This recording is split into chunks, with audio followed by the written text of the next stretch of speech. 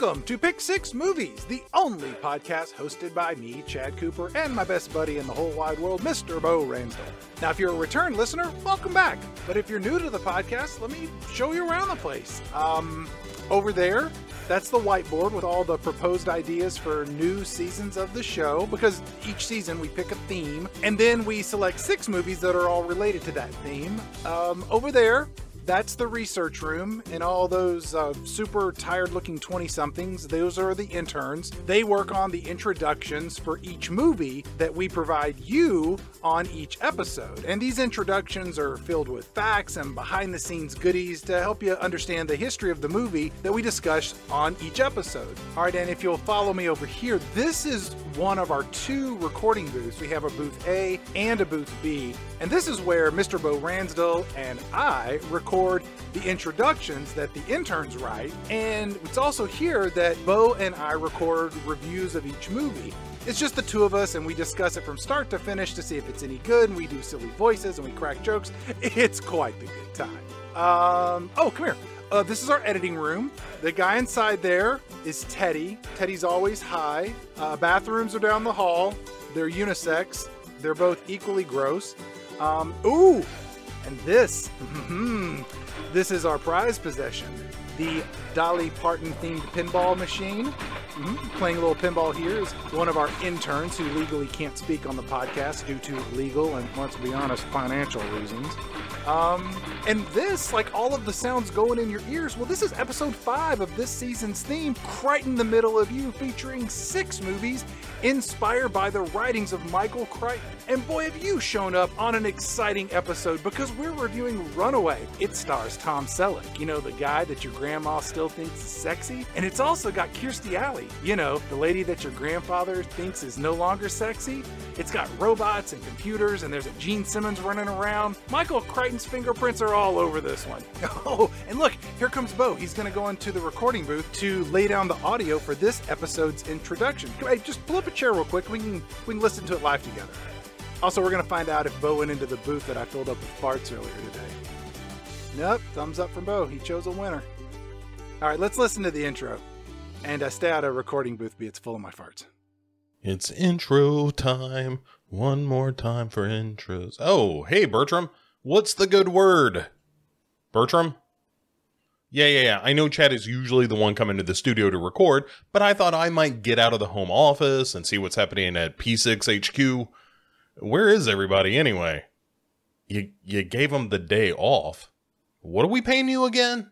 Oh yeah, yeah, yeah, right. Nothing. And it's worth every penny if you ask me. So what's the intro for this week's movie? A robust discussion of military technology or weird stories about fears of heights? Let me see what you have so far. All right.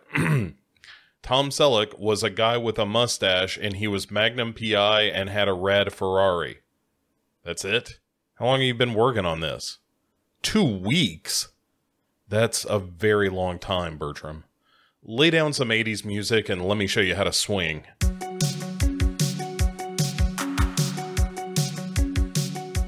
You know those actors who are eponymous? That means everywhere, Bertram.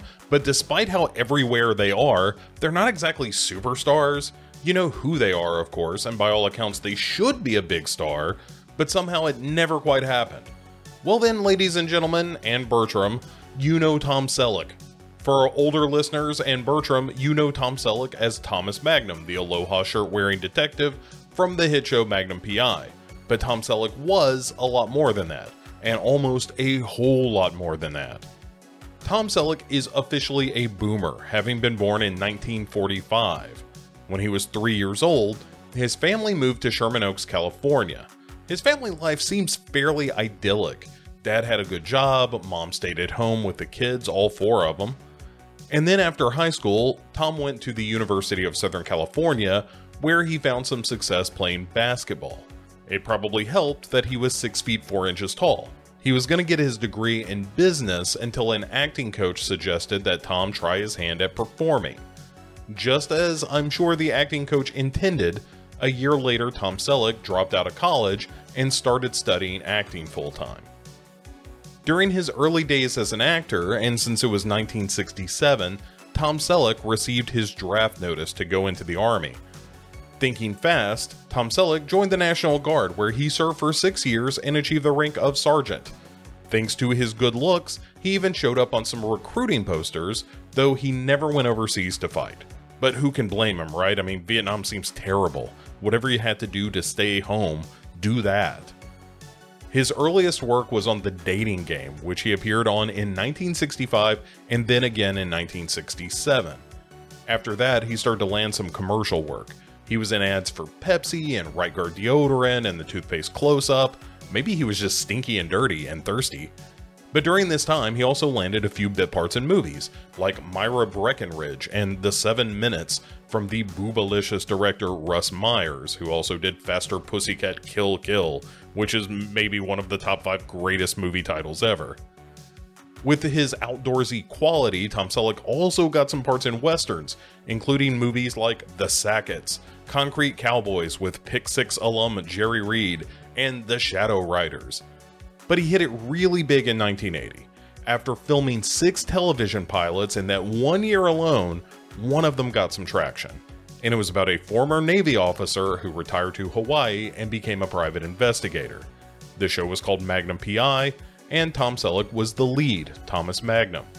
It was in this role that Selleck could show off his innate charm and his infectious, almost Reynolds esque laugh. And that mustache, good lord, that mustache he became a genuine heartthrob, and for that moment in the 1980s, he was an honest to goodness household name, and Magnum PI would go on to run for eight years. There was a moment when Selleck was poised to go from household name to Hollywood royalty, to the kind of fame that would have made him a superstar. Steven Spielberg was casting the part of Indiana Jones for a little movie called Raiders of the Lost Ark. Maybe you've heard of it? But Selleck had a problem. His contract stated he could not act in other projects during the filming of Magnum PI, and the filming of the Magnum PI pilot was delayed by six months because of a writer strike, which meant Tom Selleck could break his contract and be Indiana Jones, or he could remain the tropical detective. About this misconnection, Selleck said, Look, I made a deal with Magnum and it was the best thing that ever happened to me.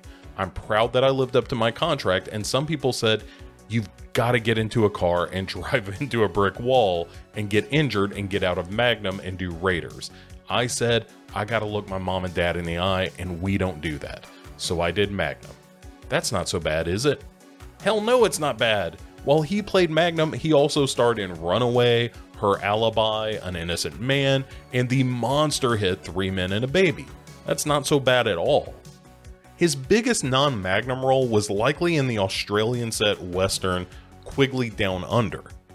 In the 90s, after Magnum wrapped up, he showed up on the mega hit Friends sitcom, did more commercial work, and ended up starring in a series of detective television movies based around the Robert B. Parker character Jesse Stone.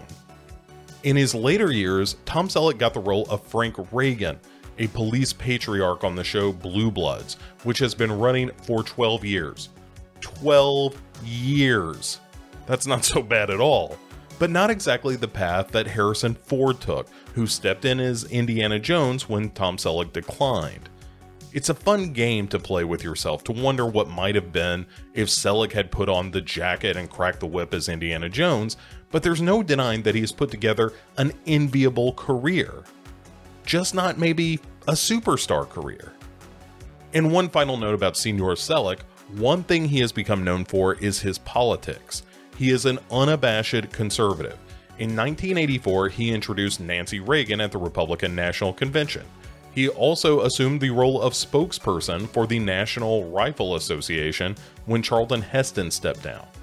He has described himself as, quote, a registered independent with a lot of libertarian leanings. He also said in 2016 he didn't vote for either Clinton or Trump, preferring a write in candidate police chief who Selleck admired for having handled the 2016 Dallas police shooting. In 1999, Tom Selleck was promoting a movie called The Love Letter, and he went on Rosie O'Donnell's talk show to talk about the film. O'Donnell had different ideas though, and kept after him about his involvement with the NRA and his stances on gun control. Finally, Selleck said to the host, it's your show, and you can talk about it after I leave. Later, he said, mustering much grace, maybe more than I possess, quote, I still like Rosie. I think she needs to take a deep breath and stop thinking everyone who disagrees with her is evil. Damn straight, Mr. Selleck. I may not agree with all of Tom Selleck's politics, but he seems like a decent guy and a far cry from evil. In fact, he seems like a pretty great guy. And I agree with him. Not everyone who disagrees with you is evil, and if more people thought like that, what a wonderful tropical detective paradise we could all have. But now that we have some background on our movie star, let's talk about this movie, Runaway. The most interesting thing about the film is its views on futurism. When asked about the vague time in which the movie takes place, Michael Crichton confirmed that he left the when of the movie intentionally vague, although there are some clues to suggest that the movie takes place around 1991, written and directed from the perspective of someone releasing a movie in 1984. When he was pressed further, he said the, the movie took place about a year from release, which would have been 1985, but that feels a little optimistic, but maybe not crazily so, but we'll get into that. Runaway was released the same year as The Terminator, and in the grand history of killer robot movies, The Terminator assuredly had the greater cultural impact. In fact, it is clear that The Terminator rules and Runaway drools. Wait, what? Bertram, did you write this? That's what I get for relying on these interns. But that lack of Terminator level success doesn't mean Runaway isn't really interesting in this regard, or that it does, in fact, drool. So let's talk about what the movie gets right. Runaway predicted the use of personal tablets, which the supremely irritating Bobby uses in bed. You probably have to cut the internet off to get him to do his homework too. There are drones called floaters in this movie, but they're drones, alright. They have cameras and remote controls and fly around thanks to propellers, and it's kind of eerie actually. There are video doorbells, as seen when Gene Simmons shows up to leave a message at the front door, and God help you if that ever happens to you. And those come as part of any home security package now. You can get them on Amazon for a few bucks even. And how about self driving cars? Can you believe that's a real thing now? Runaway called it, although the goofy mannequin in the front seat was a bridge too far, but as for how it works, dead on. Here's one that seems like it should have been real in 1984, but totally wasn't. That remote earpiece Tom Selleck uses when he's negotiating with Gene Simmons for the release of his partner. It's like one of those Bluetooth headsets that became very popular for a while before earbuds rose to rule the earth. Still pretty good, Michael Crichton. Then there's the photo editor, which you see when Johnson is making the composite photo of Gene Simmons. Not exactly Photoshop, but it presages the use of computers to manipulate photos. And to wrap up our tour of things Runaway got right before we talk about how things went oh so wrong, let's talk about smart bullets. Now, to the best of our knowledge, we don't have bullets that can lock onto a unique heat signature and follow someone through pipes, but there are smart bullets. No kidding, bullets that can literally turn in midair based on laser painted targets and the like. But that's just what we know about. Who's to say that there isn't a bullet like the one described in the film? But close enough that we're going to count it for this conversation. Despite all this undeniably cool futurism that Michael Crichton nailed like some kind of hippie Nostradamus, the movie came out to little fanfare, which is a shame. Michael Crichton wrote the film a few years before he would go on to write his big hit Jurassic Park, but he was certainly established as both a writer of film and a filmmaker, as we discussed with Westworld earlier in the season.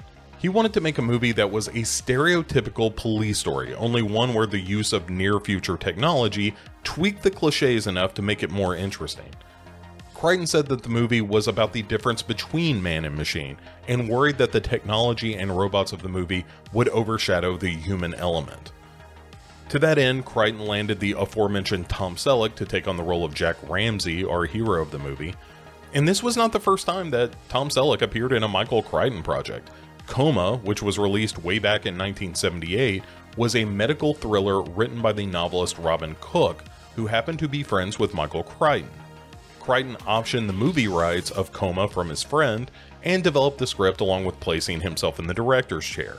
Tom Selleck played a small role in the movie Coma and would now carry Crichton's latest film on his mustachioed shoulders and Selleck jumped at the chance to play a lead in Crichton's film, stating, quote, With my TV series, I don't have the luxury of taking on a lot of projects. So when I got offered a movie and the timing's right, I say yes. I keep thinking if I don't say yes, then everyone will go away. Playing opposite Tom Selleck's hero would be the villainous Dr. Charles Luther.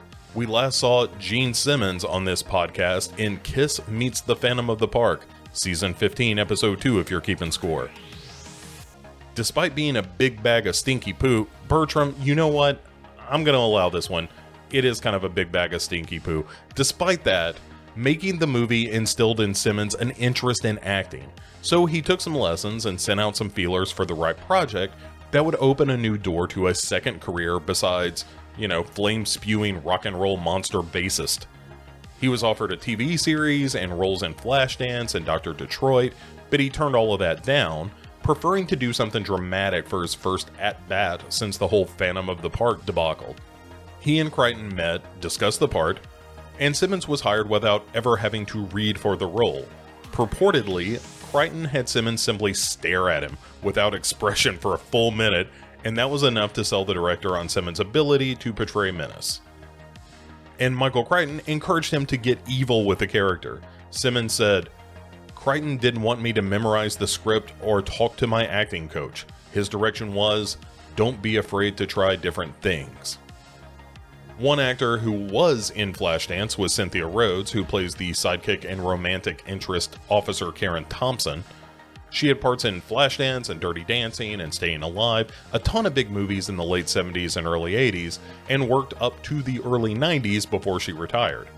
Fun fact she's from my longtime home of Nashville, Tennessee, and worked at Opryland as a singer and dancer before she went off to be a big shot in Hollywood. Nice to see a local girl make good. Stan Shaw, who plays Marvin in the film, is a frequent guest on this show, having been in Cutthroat Island and Rising Sun most recently, and he's still acting, so good for him. You've got G.W. Bailey as the chief of police, and he certainly had his movie cop bona fides, appearing as Lieutenant Harris in Police Academy, which was released the same year as Runaway, just later on. 1984 was a wild year for movies, huh? He's also still acting and has been in just about every TV show you can think of. Man, the life of a character actor, what I wouldn't give. And in the high heeled shoes of the movie's femme fatale is Kirstie Alley, who is maybe best known at the time from her bit role in Star Trek II The Wrath of Khan. Her insanely popular turn as Rebecca Howe on the classic sitcom Cheers would be another few years down the line, so it's interesting to see her as little more than a sex symbol in this film as the camera lingers on her body while she strips off bug laden clothing. Also, she seems to have gone crazy in later years, but hey, happens to the best of us. When the movie landed, it only made about $7 million in theaters, which was less than a tenth of the haul The Terminator brought in, despite its rampant use of robot spiders.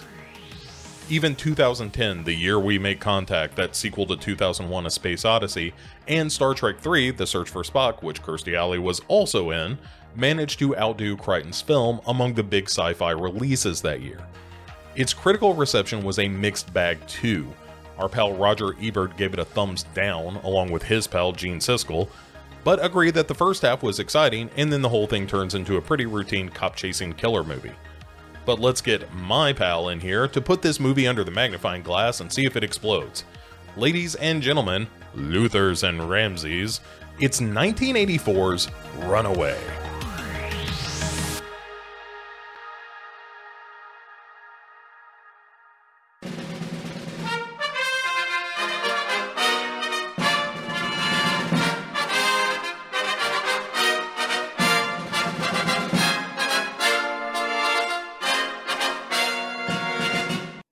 Welcome back to this episode of Pick Six Movies. Uh, I, as always, am your robot host, Bo, and with me is the spider, Chad. Look, there's something we got to get out of the way. Oh, First off, well, this is exciting. I don't think that Bertram is here today. Is he? I haven't seen him. I haven't been back to the office. I can't look at that guy anymore. He's nothing but just dreadlocks and a bad attitude. The other day, he gave me a ride downtown to go see a guy. Don't ask. Anyway, on our way there, we're in his car. And but when we get in, before he even fastens his seatbelt, he puts on a harmonica holder around his neck. What? What? Wait, and as we're as we're driving, Bertram proceeds to play harmonica solos in accompaniment with this curated Spotify list that he's put together. It's it's Piano Man and Love Me Do, Mr. Tambourine Man. There's a whole lot of blues traveler. Oh, sure, yeah.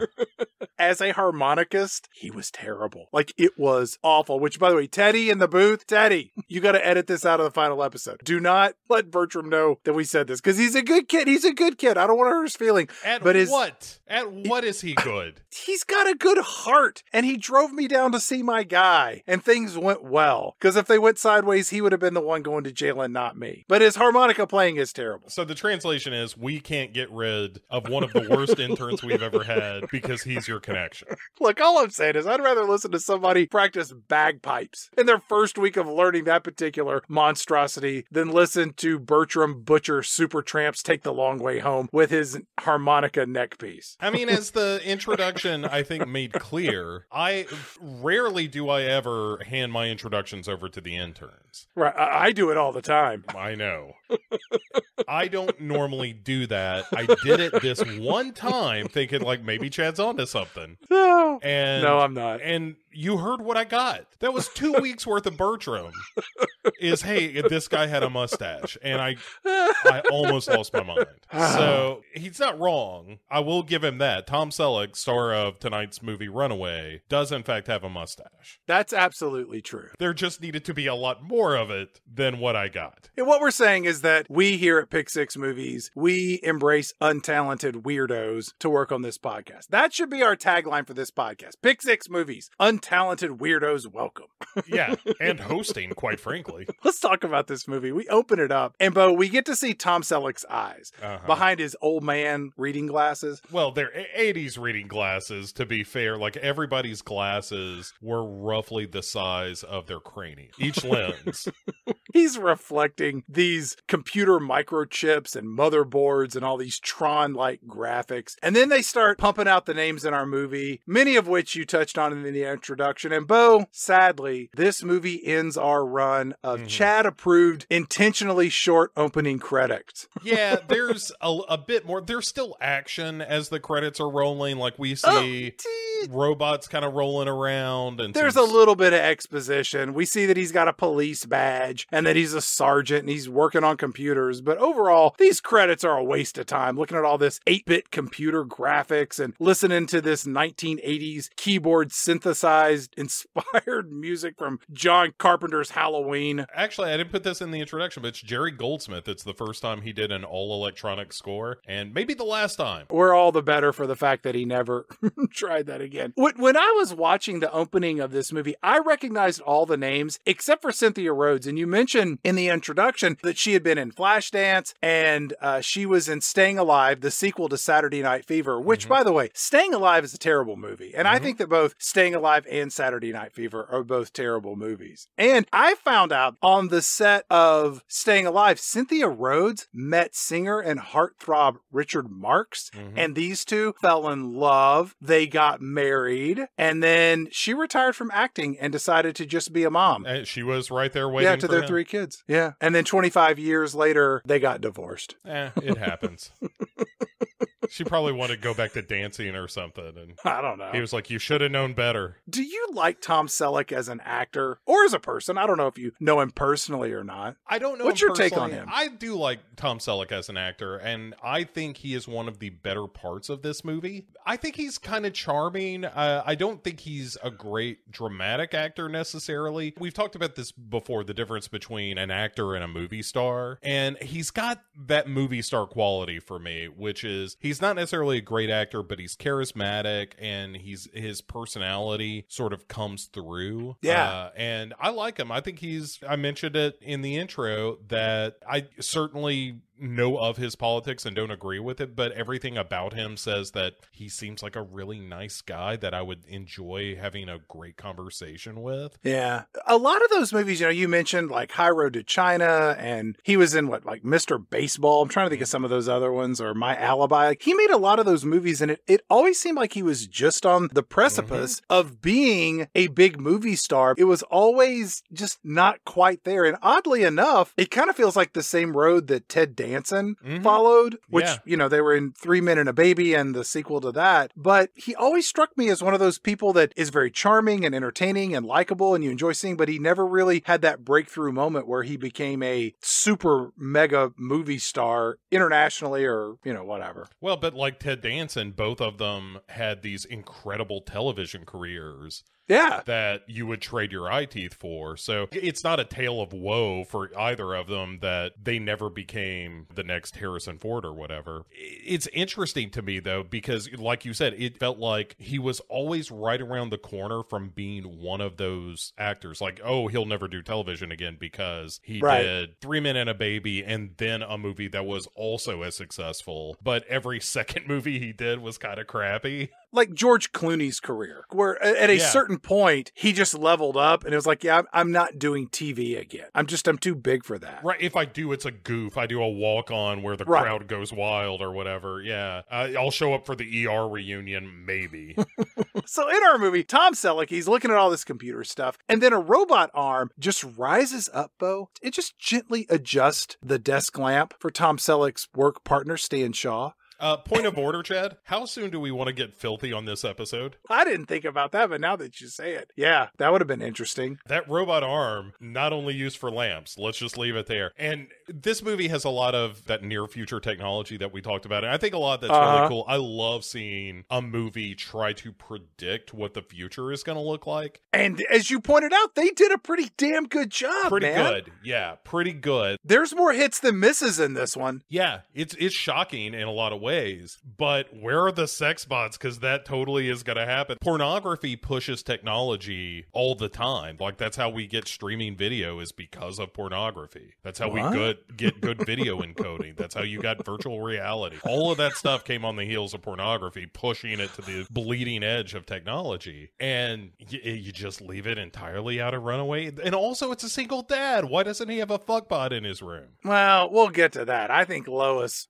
There might be something going All on there. We'll see. Yeah. So there's this voiceover in the police station, which that's where we are, Bo, in a police station. That's where you find cops most of the time. They're either at the police station or crime scenes, or they're at home, or they're in a bar trying to drink away all of the things that they've witnessed at the three previous locations. And Tom Selleck, he gets on the phone and he says, Hi, uh, I'm Tom Selleck. What's the model of your, your robot? Oh, the 7700 Agricultural Farmbot 2000? Okay, all right. Well, say uh, you can't afford regular maintenance. Well, that's a shame. Do, let me ask you: Do you own your own home? Oh, have you considered a reverse mortgage from AAG? It's a safe way to access the equity in your. he- Hello, hello. Oh, we must have gotten disconnected. Veteran curmudgeon G.W. Bailey as the chief, or Lieutenant Harris from Police Academy, however you want to think of him. He appears in six of the seven Police Academy movies. Uh huh. And in every single one of those films, his character comically finds his way into a gay leather bar. Mm-hmm.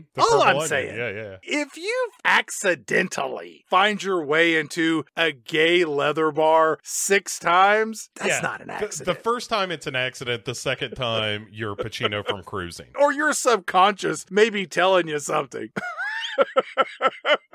Oh, he's going for the the warm embrace of a, a hairy man. I'm pretty sure he's the twink. He's our chief of police, and he comes in with this uh, new recruit, Thompson. Yeah, let me tell you about your new partner here, Tom Selly. Uh, uh, name, his name's Thompson. So take her with you on this. I don't know. What are you doing? Some kind of robot work? All right. Uh, I'll talk to you later. Tom Selleck, he shakes Thompson's hand and he says, Hi, I'm Tom Selleck. We're on our way to take care of a runaway robot. We're the runaway department, but for robots, not people. That's a different department, but we do get a lot of their calls, the same way a swimming pool company gets a lot of calls about pool tables, and vice versa. Except for us, it's it's robots and troubled teenagers.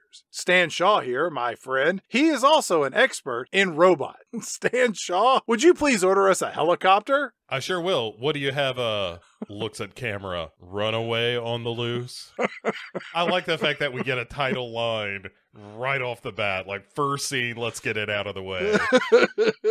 Tom Selleck and Thompson, they do a little walk and talk and they grab their equipment bags. And Tom Selleck says, Do you know anything about robotics or computers? And do you own your own home? How much equity do you have in your home? You know what? I'm getting ahead of myself. Let's go get in the chopper. to her credit, the new officer Thompson is like, "Do we need all this stuff?" And he was like, "Well, we don't don't need it. So let's hit the chopper and get to this farm. On the way, let me tell you a little bit about your insurance options, both as a member of the police force and, well, some other options that you might find equally interesting. We cut to this robotic arm. It's got a little pincher clamp, and the metal is like about like the size of a grapefruit, Mhm. and it's daintily plucking worms off the leaves of corn stalks. Mhm. And it is such a convoluted and forced use of available technological resources to get this job done. It's so egregious. It's like how the Flintstones used to force a baby woolly mammoth to serve as a vacuum cleaner. Yeah, or the pterodactyl being the garbage disposal under the sink. There has to be a better way. It's a living. Yeah. no,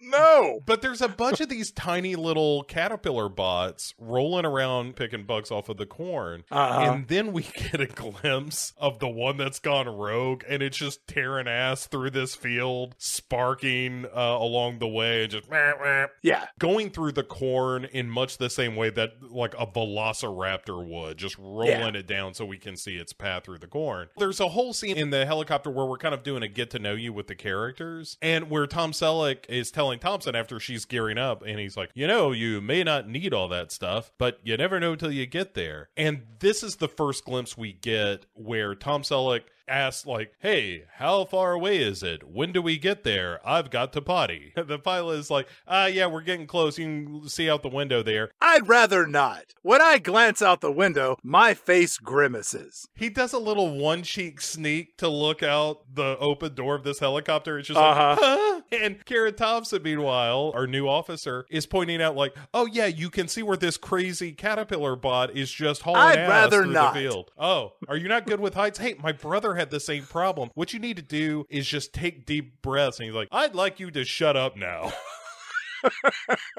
the helicopter lands, and Tom Selleck and Thompson they hop out and they walk over to these five farmers who clearly aren't actors, as they're all shouting the same lines of dialogue over one another. They look like members of this Austin-based funkabilly Hank Hill cover band, Propane and the Propane Accessories. And then Thompson just runs off into the cornfield. She picks up the robot and she's like, "Hey, I got it!" And it starts sparking and exploding, and she drops it. Then Tom Selleck and Thompson they run off, give chase after the robot, and all of this synthetic keyboard music plays. And then they eventually find it, leap into the air, they land on top of it, and it mildly explodes. And then one of the farmers sees this explosion, and he's like, "Whoa, looks like World War Three out there." I'll tell you what. I like that this crowd is reminiscent of all the old people going boating with dynamite in Jaws. It's just people who are around and owned a farm and get to be in the movie now, but it's it's pretty good. I thought that when it exploded, Tom Selleck and Thompson might be dead, and this might be a short movie, but it turns out we just get some classic, wild, blown back hair and comical blackface, Bo, the kind we saw in the Dukes of Hazzard movie. It's very silly. So after they catch the caterpillar bot, they're walking back to the helicopter, and Thompson is again kind of pressing Tom Selleck on how he got this job. And he's like, Well, I fell into the work a bit by accident. I got this job, and then I took some night classes, and then one thing led to another. The next thing I know, I'm the person who knows the most about all these robots, as well as insurance and mortgages. I used to work the streets, but I had to stop because of, well, my vertigo. I don't like heights, if you didn't catch that earlier. It's the kind of thing I wake up every day and pray that doesn't come up as a plot point later in this movie. Well, and she has him. Did you have to quit your regular police job, the regular work, because of the vertigo? He's like, This is the regular force, and also, I don't want to talk about this. And if you keep at it, I'm going to put both fingers in my ears, and I'm going to make this noise. La la la la la. So please, let's just drop it. What do you say? They get back in the helicopter and the pilot says, Hey, there's somebody on the phone named Lois that wants to talk to you. And Tom Selleck says, Oh, Lois? Uh, patch her through to my headset so I can speak with her in front of my new partner. Oh, hello? Is this Lois? Hmm. Have you had time to think about a reverse mortgage? Oh, that's right. We live in the same house. Lois, what are you making for dinner? Hmm, that sounds delicious. Haha, I love you too, Lois. You know what? You hang up first. No, you hang up first. Okay, let's hang up together on the count of three. One, two, three. you didn't hang up, Lois. All right, for realsies this time. One, two, three. You still there? what am I going to do with you, Lois? Seriously, consider a reverse mortgage. Gotta go, Lois. Uh, bye bye. And if Thompson Yeah. has this look on her face of vengeful anger and disappointment, and you're just like, what is going on here? It's like she joined the police force as uh, the way that some people sign up for a dating site. Or go to college like I'm getting my MS degree. Like, you're what? Yeah. Uh, is, is she expecting to fall in love on her first day of the job? Like, remember, Thompson, checklist number one, be on time. Got it. Number two, make a good impression. Got it. Number three, find your soulmate. Got it. Number four, research benefits of reverse mortgage. This isn't my handwriting. But also, Chad, she got in a helicopter with six foot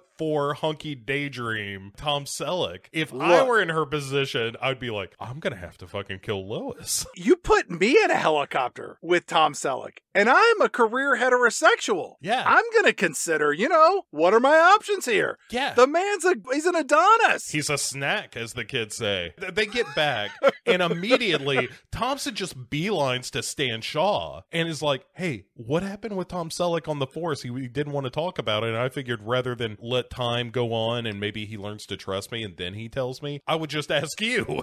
Who the fuck is this Lois? Who is this bitch I keep Yeah. hearing about? Is she the one that made him leave his old job? Look, I'm gonna kill her if she hurts Tom Selleck. And Stan Shaw's like, no, no, no. It's not Lois, all right? Tom Selleck, yeah, he loves Lois, all right? And wait, what is that grinding sound? Is that your teeth? Look, our health coverage doesn't include dental. You gotta slow that down. L- listen, Tom Selleck, he's an officer and he chases robots, all right? But back in the days, he was chasing this bad guy. And this guy, he goes to this high rise building that's under construction. And Tom Selleck, he freaks out, starts sweating. He pee peed his pants a little bit because he's so afraid of heights. This bad guy gets away. And it's the kind of thing that I wake up every day and pray doesn't come up as a plot point at the end of this movie. She's like, So what happened? Like, so a guy got away, no big deal. And he's like, Well, then he shot a kid. He pulled a gun and it looked real enough to Tom Selleck. Oh, wait, that was Die Hard. No, what happened was this killer got away and then he murdered a family immediately the same Yeah. night. And as soon as that happened, Tom Selleck was like, Well, I guess I'm done with the regular force. My trauma has led me to enhance my fear of heights, and now I'm just going to chase robots. Tom Selleck won't tell you this, but that's not really where the story ended. Not only did he kill that family, he also crashed his car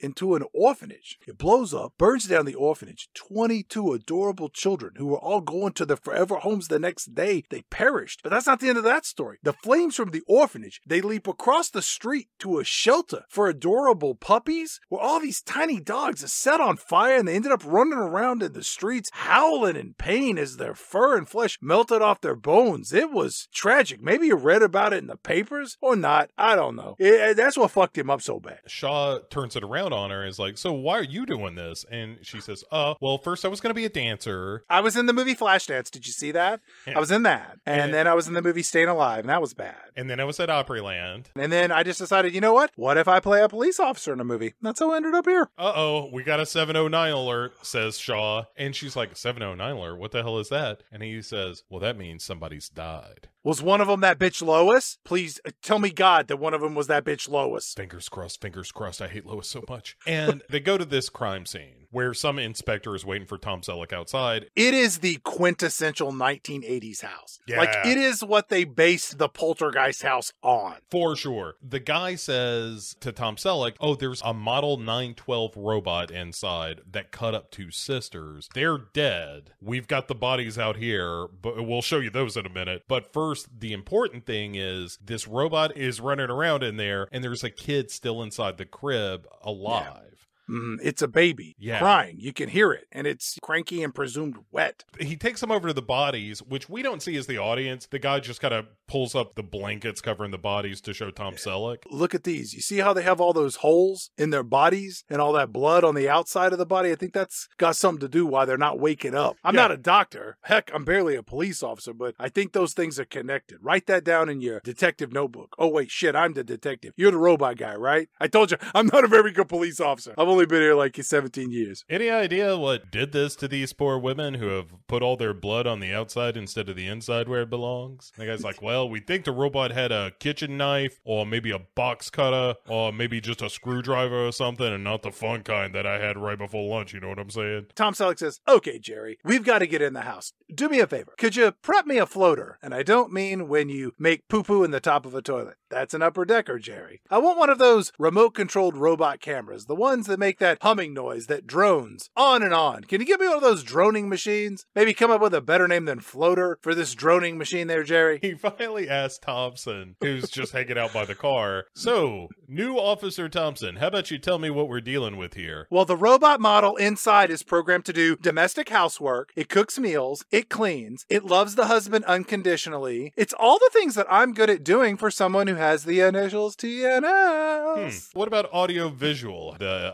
eyes and ears of this thing? Also, are there any holes in it, like Lois? The Inspector Jerry, he walks over and he says, Hey, uh, also, you see that guy over there crying uncontrollably, screaming, Why me? Why my sweet Darlene? Why is she dead with all those holes in her body next to her sister Deandra, who I can understand why someone would kill her? That's the husband. Also, he works for Flip, Flip, Flip, Bad Guy Incorporated. I think he's an engineer. While Tom Selleck is dealing with that guy, a reporter comes up and is like, "Hey, can we patch into your floating, almost drone-like object, but floater for sure?" I'm Sam Sparks, intrepid reporter. Can we just broadcast live whatever kind of tragic horror that your droning like device is gonna show when it goes into this house of murder and mayhem? And he's like, "No, you can't."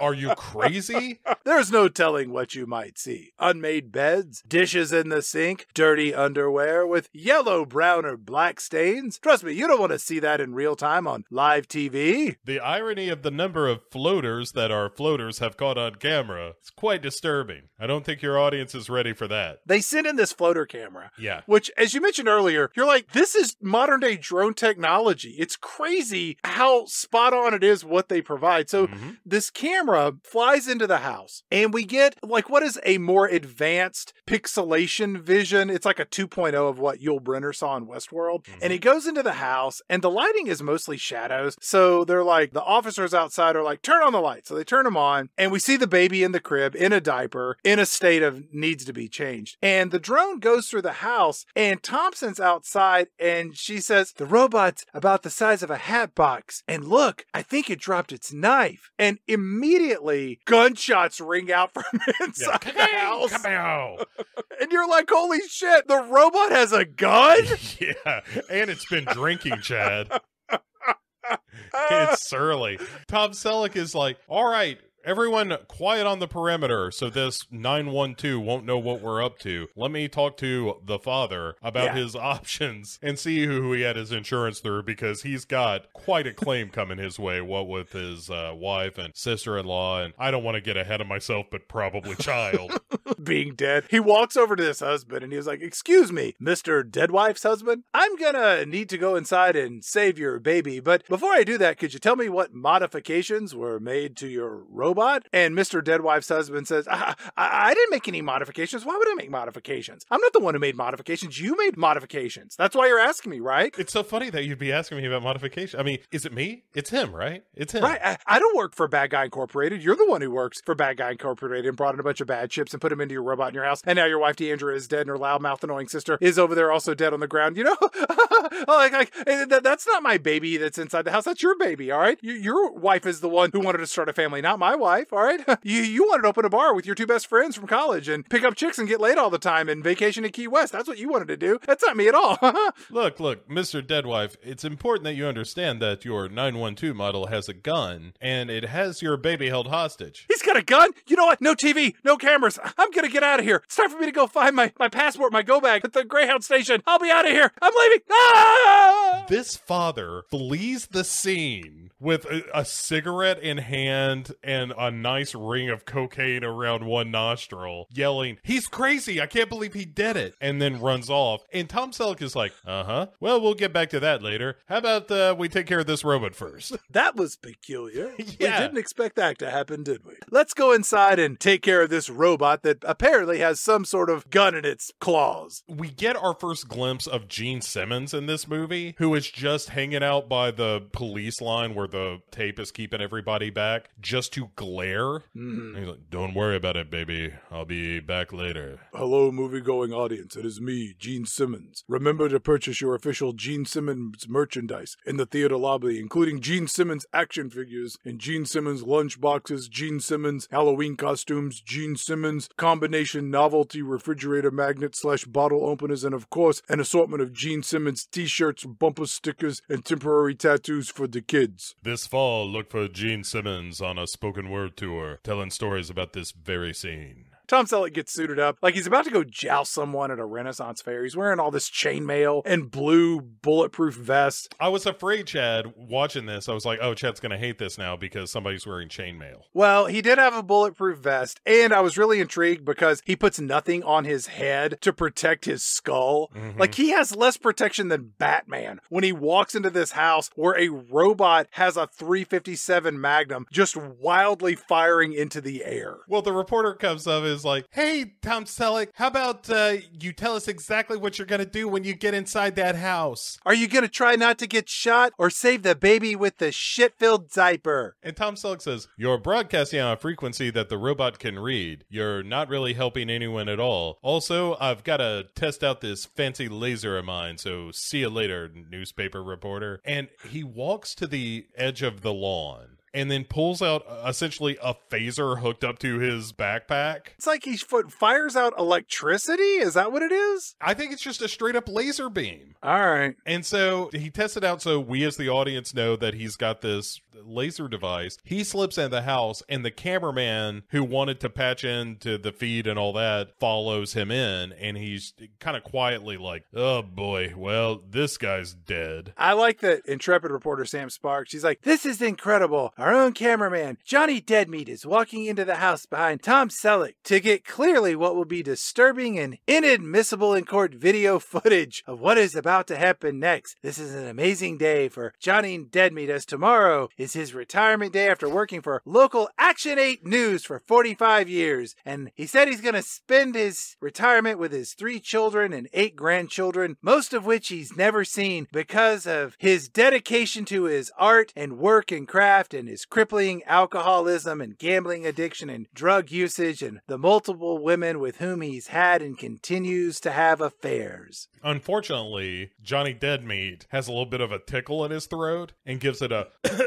and Tom Selleck looks back at him like he just shit himself. Would you get the fuck out of here? Then there's a gunshot, and Johnny Deadmeat is dead. Shot through gone. the yeah, shot through the camera, right in the eye. He's done for. I do like that there is a shot of Gene Simmons walking away from the crime scene in the only way that he knows how, mysteriously. Yeah. Well, everything he does is mysterious uh, in this movie, at least. I'm sure not in his day to day life. Like Shannon Tweed isn't like, where did Gene go? I just I was making him some raisin bran. I turn around and he's gone. That's just how I do, baby. When Johnny Deadmeat, the cameraman, gets shot, my question was, what is not to love about this movie? And the answer is nothing. This movie is perfect in every way. We've got robots shooting news cameramen. We got Tom Selleck dressed up in some sort of futuristic chainmail with a laser gun to go kill this robot and a shit diaper baby screaming. This is like perfect for our podcast. The front end of this movie, I think, is pretty terrific.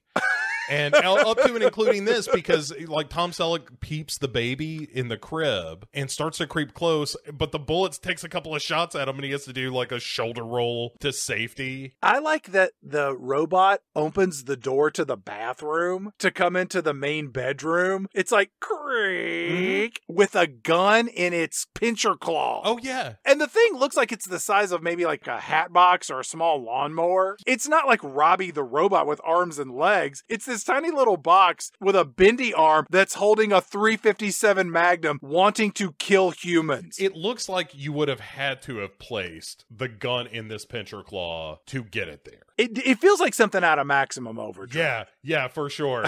I, oh, oh, Chad, what I wouldn't have given. If you'd set Maximum Overdrive in this universe, yeah. holy shit, the humans would have lost. You can argue they did in Maximum Overdrive too. Other than the, that scroll say, oh, the people at the Dixie Diner are still survivors. Ah, to hell with that. Anyway, doesn't matter. So he uh, finally, Tom Selleck pops up, draws the fire of the robot, and then shoots it with his laser under the bed, and ends up giving it one kind of double taps this robot for good measure, yeah. which I also uh-huh. appreciate. Uh-huh. And then comes out with this baby heroically. To give it to who? Mr. Deadwife's husband? He's in South America by now, presumably. Oh, this kid's going straight to DCS. And everyone's applauding as he's emerging with the baby. And he asks, though, so where did the father go? I should probably give his baby back to him. Do you see that cloud of smoke that's slowly disappearing off in the distance? He ran that way. That's shaped like Mr. Deadwife. a coke addicted day trader. Yeah. We finally go home with Tom Selleck.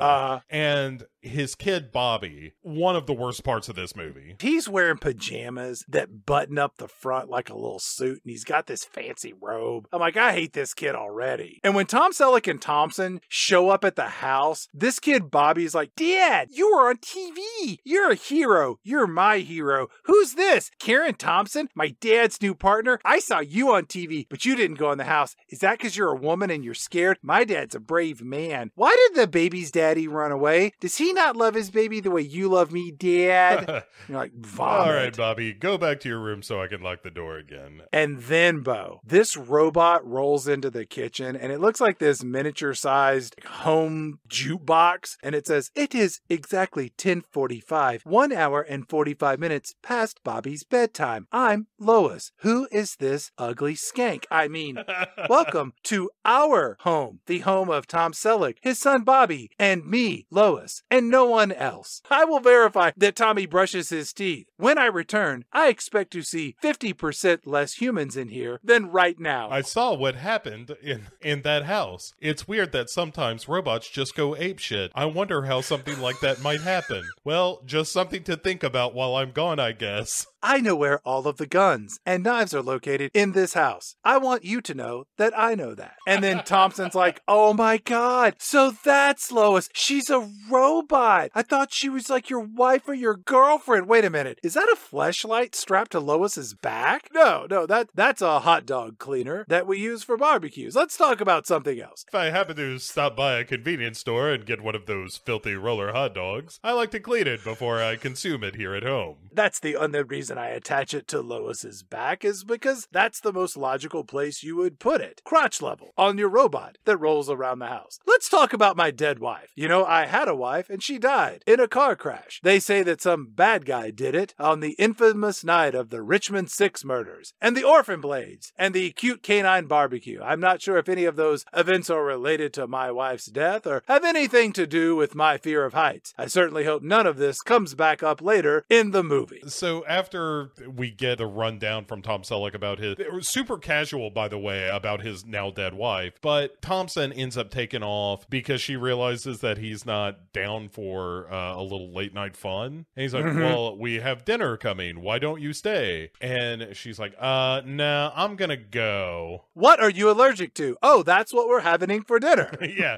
so she takes off, and Tom Selleck then goes to Bobby's room where he's watching some news on his tablet, watching his father mm. saved the day yet again. Hey, Dad, that lady sure was pretty. Does she have a husband? I didn't see a ring on her finger. Would it kill you to get married again? If you get married, can I have the hot dog cleaner? Were you scared going into that house? Did that cameraman piss himself when he got shot like Steve Martin in the movie Grand Canyon? Will Lois go crazy like that robot that I saw on TV tonight and try to kill me with a knife or a gun, Dad? Well, of course not. Lois is our family friend and our pal. Also, if that ever did happen, I've got you insured to the gills. I'll be sitting pretty for the rest of my life. Also, I've mortgaged you, Bobby. I have to tell you, I missed a couple of payments and you're going to have to go back to the bank. Good night, son. I'm going to go back to the office. And the movie cuts back to Stan Shaw, his partner, examining the killer robot, and Thompson's there. And Stan Shaw says, Hey, there's a chip in here that doesn't belong. Maybe it's experimental. And this chip starts smoking. Everybody, Tom Selleck, Thompson, and Stan Shaw, they all like leap off to protect themselves. And the chip just explodes. And the chief, who's outside this examination room, he doesn't even bother to look at him. And he just goes, Asshole. It's the best part of the movie is him muttering assholes as he sees two of his detectives blow something up in their office. Off in the distance, another police officer pops in and says, Hey, Tom Selleck, you got a runaway robot on your hands, and you're really gonna love this one, tee hee. Cut to Tom Selleck and Thompson showing up at a construction site where a high rise building is being built, and there's all these different types of robots working on the building. And it turns out that a stacker robot is just chunking dry bags of cement from the 18th floor. And the foreman, who is a woman, Bo, Mhm. how progressive, she says, Let's get in the service elevator. And it's got no doors because robots don't need doors. Also, they don't really need elevators. My logic is thin at best. This is where the theme emerges, right? Where a woman is talking about how, like, the, the site on 31st Street where there are no people at all. Because that's part of the overarching theme of the movie, right? Which is nice to have a movie where there's a theme for once on this show. And so Tom Selleck is kind of hesitant about going up there to fix the robot. And Thompson's like, you know what? I'll take this one. Don't even worry about it. Yeah. I work construction when I was in the movie Flashdance. I got this. He just listens to her on the radio as she's like, I'm on the 18th floor. I'm up here. I flipped the switch. It's done. It takes her like 15 seconds. Yeah, and she's finished. She's like, "Got it," and she like leans over the side of the building to wave at him. So he's properly humiliated because he's a man, and under no Mhm. circumstances can a woman do something even equal to, but certainly not better than him. Let me tell you how the world works, Thompson. Nothing works right. People don't work right. Relationships don't work right. People make machines, so they don't work right. That's why you need the security of a reverse mortgage, Thompson. Remember, you still own your home, not the bank. You paid for your home. Why not use the equity to help you live the better life you deserve? And then we cut to Tom Selleck and Thompson, and they're going to what will forever be known as the robot murder house from the night before. yeah, yeah.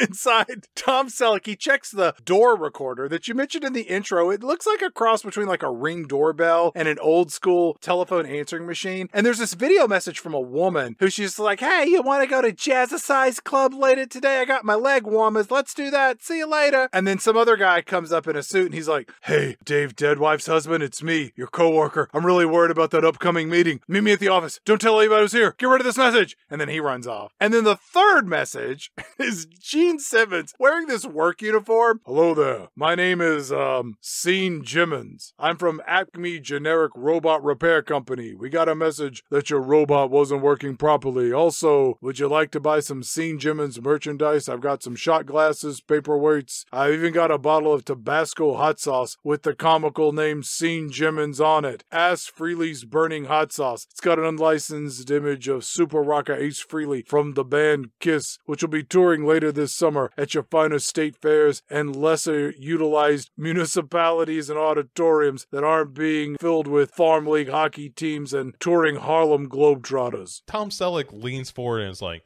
I want to know who that guy is. He seems to have a lot of great products. I'm interested in at least three of them. I need to get some of that hot sauce. That sounds delicious. Also, I'm insured up to my eyeballs, so even if the hot sauce makes me poop myself and bleed out my eyes, nose, and anus, why, no doctor's bills are gonna find me because of my insurance. Thompson, let me ask you, did I mention to you that I can offer you the same kind of coverage that I've got? The same kind of bleeding ass hot sauce coverage that I've just described. You know, the only kind of coverage I'm interested in is the coverage in the bedroom, the covers coverage. Talking about you and That's great. Actually, all of these insurance policies protect you in every room of the home uh, the bedroom, the bathroom, the shower, the living room, the garage. If you have a sunroom, it protects you in there. Dining room, kitchen, attic. if you have a refinished basement, it'll cover you there. I never expected that I would have to work as a part time insurance agent to supplement my income, but robots are expensive and the police force doesn't pay a lot. Oh, wait a minute. The message with that scene Jimmons suddenly was erased? That seems peculiar. And then we cut to Gene Simmons and he's getting his hands on some computer chips from the guy that we saw sweating on the doorbell camera. And the two of them are now in this gym locker room. And the sweaty guy says, Look, here are the chips. Gene Simmons, be careful. They're dangerous. Uh, also, who are you wanting to sell them to? And Gene Simmons says, Hmm, I don't know. The mafia? Terrorist organizations? Maybe terror agents? International drug cartels? Perhaps cancer? Maybe some natural disasters? The devil? How about random Legos on the floor at night? Any agent of pain, destruction, or evil will do. I like that they're both dressed like they're about to work on a Wonka vision teleportation. yeah. which is pretty fun. After Gene Simmons lists all the people and things, including cancer, that he might sell these computer chips to, he's like, "Don't be stingy with the templates either. I want the chips and the templates." When do I get my money? Wait, what's this briefcase? Is it full of money? Uh, yeah, that's full of money. All right, well, I guess our business is concluded. Hey, have you seen Mr. Deadwife who had a little accident with his robot at home recently? And he's like, uh, no, I haven't seen him, but I'll tell him you're looking for him. Well, I'm not gonna count on you telling anyone much of anything for long, so toodaloo. And Gene Simmons disappears when this security robot comes by, the sauna Yeah. or whatever they're in to make sure people aren't fucking It's, each yeah, other. it's a real poof, he's gone. The sweaty guy's like, but at least my briefcase full of money's here. And he opens it and you see that the top layer is real money. And then he flips through and it's a bunch of newspaper clippings. And he's like, damn you, Gene Simmons. And then a spider robot crawls out from under a towel. And this spider robot, what's like the size of like a toaster, like a flat toaster. Yeah. It crawls out and it jams a needle in this sweaty guy's neck. And then this sweaty guy just explodes into flames. he falls down the ground and the spider explodes after Oh, is that how it injecting him. Yeah, yeah, yeah. So it's like a self-destruct thing for the spiders. Mr. Dead Wife's husband, he walks by and peeks in the window and he gives it a, ooh, gross. Yeah, I'm glad it's not me. Holy shit, that could be me. And so he takes off. And so Tom Selleck and Officer Thompson. They go to the Roosevelt Hotel, which outside there's a sign that says public and private saunas, massages to relieve tension and stress. And I was like, I think there are whores in that hotel, both public and private. This is a real flophouse kind of place. And Gene Simmons is there, bro. Oh, sure. Just once again, just kind of hanging out like, oh, wait, it's the cops. Let's see how all this plays out. If you paint a pencil thin mustache on Gene Simmons in this movie, he looks like Wayne Newton. Yeah, for sure. Not just in this movie, to be fair, just in general. Tom Selleck goes up to the fourth floor and he enters the room of this hotel. And Tom Selleck just busts in, and the guy inside fires off a few rounds. And it's Mr. Deadwife's husband who says, Hey, you're not the cops. What are you going to do to me? If they find me, they're going to kill me. And Tom Selleck says, Just come with me. We're going to go outside. We'll keep you safe. Don't worry, I took out an insurance policy on you before I even came to the hotel. They get to the street. Mr. Deadwife's husband looks over and sees Gene Simmons, and then he takes off running. Tom Selleck gives chase in a very unthrilling fashion, and then Gene Simmons pulls out a gun, fires a bullet that has some sort of tracking device on it that goes right after Mr. Deadwife's husband. And the way this bullet chases both Mr. Deadwife's husband and to a lesser extent Tom Selleck, it's kind of like the opening of the Fresh Prince of Bel Air. It's like all this manic camera work, or it reminded me a little bit of like Benny Hill with all this comical running around. you're seeing the bullet POV at times where you're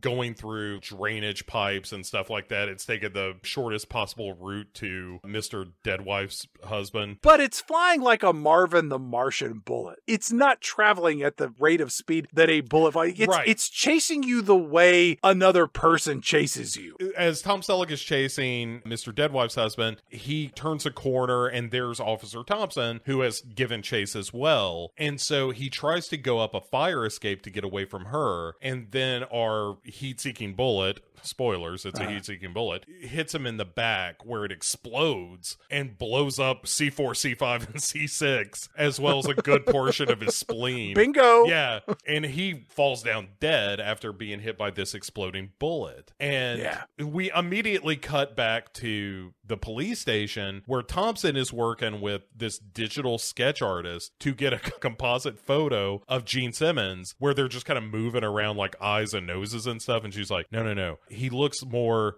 mm, capitalist. Eh, Can you make him look more capitalist?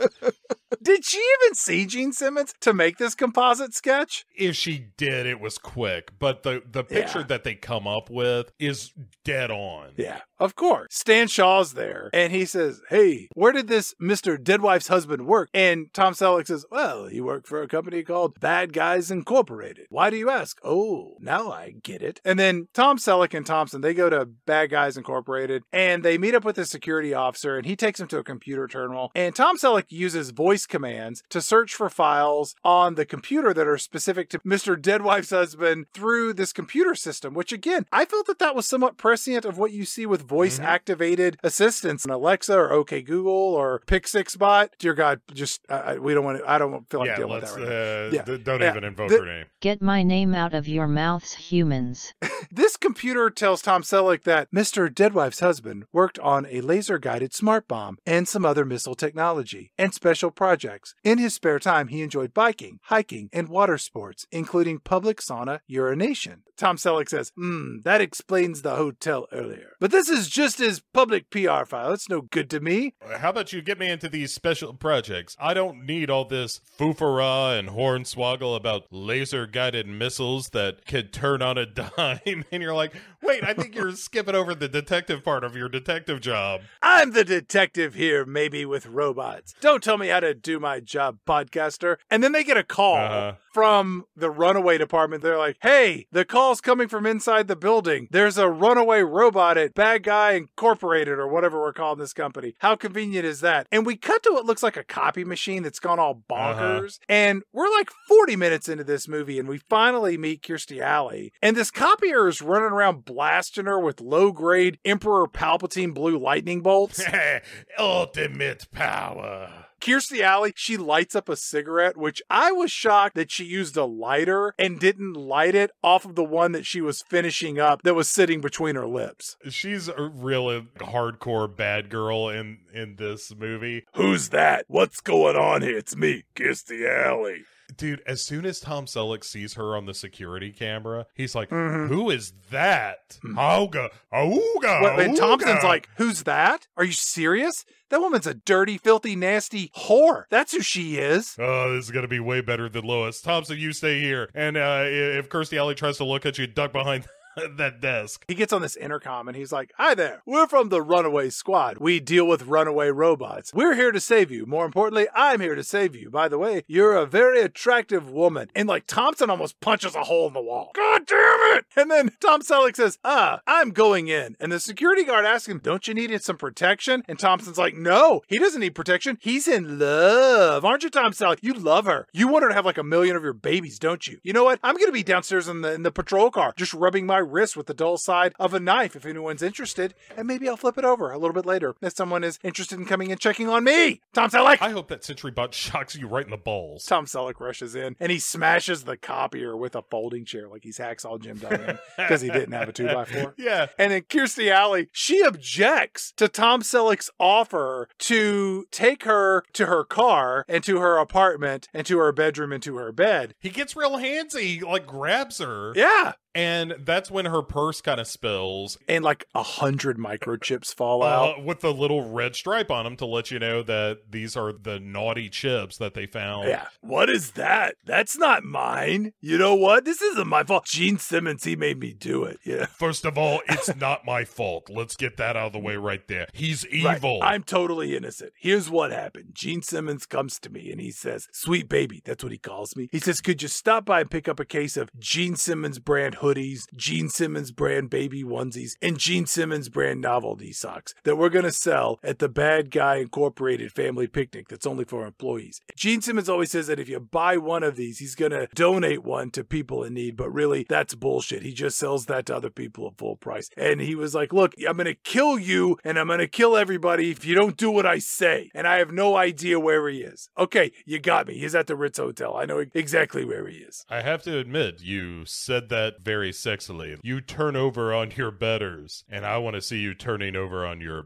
betters. It's one of the skills that I have. By the way, do you have a carton of cigarettes that I could borrow? I can go get you some. Make it three. Here's a coupon. Also, here's some brochures about insurance for smokers. You're buying yourself a lot of health problems with all this chain smoking, but I'm okay with it. I just want you to know that. All these cops go to the Ritz Hotel looking for Gene Simmons based on Kirstie Alley giving up the goods. Mm-hmm. And all the cops are dressed in their blue uniforms. You know, come on, wouldn't you think he'd be a little more subtle, but maybe not? And then Tom Selleck, he pushes his way into this unlocked, ajar hotel room door, Mhm. and he goes in with his gun drawn. And once inside, he sees what the credits to our movie describes as Hooker, as played by a woman named Cec Verrell. And I'm assuming Cec is short for Cecily. Mhm. And she actually appeared on an episode of Cheers titled Let Sleeping Drakes Lie, where she played a character named Jennifer. And Kirstie Alley, as you mentioned, played Rebecca on the TV show Cheers. And I just wondered in this particular episode, which is Rebecca heavy, I wondered if these two swapped stories around how they were both in the movie Runaway and how Kirstie Alley saw this woman topless in the movie. It's probably not a conversation you have directly. You just wait for her to bring it up. Right. And like, oh, remember I was in Runaway with you. I was the one who had her tits out. I don't remember that at all. I don't remember making that movie. I wasn't on set that day. I was having a nicotine transplant. While this topless hooker walks around the hotel room, she glances over and sees Tom Selleck hiding in a corner with his gun drawn, and she immediately she covers her breastbow in modesty. Yeah. And Tom Selleck, he gives her this single finger shh. And then she runs into the hallway, and then Thompson sees the hooker, and she's like, Who is this whore, Tom Selleck? Is that what you like? Topless women running about with their breasts jiggling? Well, you know what, Tom Selleck? I can do that. All you gotta do is ask. We're trying to bust demonic rocker Gene Simmons, and, and all you wanna do is see these fancy hookers in the hotel with all their cocaine. You know who's been here the whole time? It's me. I've been here for 24 hours. Your partner, Thompson. I've been here. You know? Hand me that boombox. I'm sorry, I missed all of that. I was thinking about where to Oh. find cigarettes. Uh, I think there's a bodega on the corner and a convenience store two blocks down. I think she would like cigarettes. I think I'm going to bring her cigarettes instead of flowers. All my instincts, they return. The grand facade will soon will burn. Look at me, Tom Selleck, without a noise, without my pride. I reach out from the inside, in your eyes, the light, the heat. so you ready to bust in and break up these international terrorists or what? After ignoring Thompson and her pleas for love, they just bust in. Mhm. And they're like, freeze, nobody move. And there are these two bad guys, along with Gene Simmons. And Bo, there is a second hooker in there smoking a cigarette. And she's sitting beside this wet bar in this hotel suite. And the credits cite her as hooker at bar. Mhm. And she says, uh, shit, you said there wasn't going to be any trouble. And I fell in love with this woman. She is so unfazed by cops busting into this hotel room where some shit's going down. They are clearly exchanging money for goods and services. And Hooker at Barbo is played by Anne Marie Martin, who has a writing credit on the Michael Crichton movie Twister. How did that happen? Well, she eventually married Michael Crichton from the years 1987 to 2003, where they had a daughter together. Wow. he he must have liked the cut of her jib as much as you did. Tom Selleck comes in with his gun drawn and he says, Everybody move real slow and we won't have any trouble. And then Gene Simmons uses his mind control to lower one of those floater drone devices that's just been hanging out on the ceiling and it starts blasting out some sort of white gas and everybody starts coughing and choking. And Gene Simmons shoots the two guys in the room that he was doing a illegal deal with. Mhm. And then he shoots Thompson. Yeah. So Thompson goes down. Gene Simmons has Hooker at bar. yeah, Michael Crichton's soon to be wife, a hostage. Right. The future ex Mrs. Michael Yeah. And tells Tom Selleck, drop your gun. Actually, he says, drop the gun, sucker. He uses the word sucker. It's lot. pretty good. And so Tom Selleck is just like, I guess I have to because I can't get an innocent hooker killed. Did you see that he was crying in this I scene? thought he was just sweat. I thought he was crying because Thompson got shot, or the gas that came out of the drone, or maybe someone was cutting onions. Or he's thinking about how he's going to be late for his presumed date with Kirstie Alley later. so Gene Simmons like sees him drop the gun and gives him a grin and fires his fancy space gun at Tom Selleck. and he says, Hey, now kiss your ass goodbye.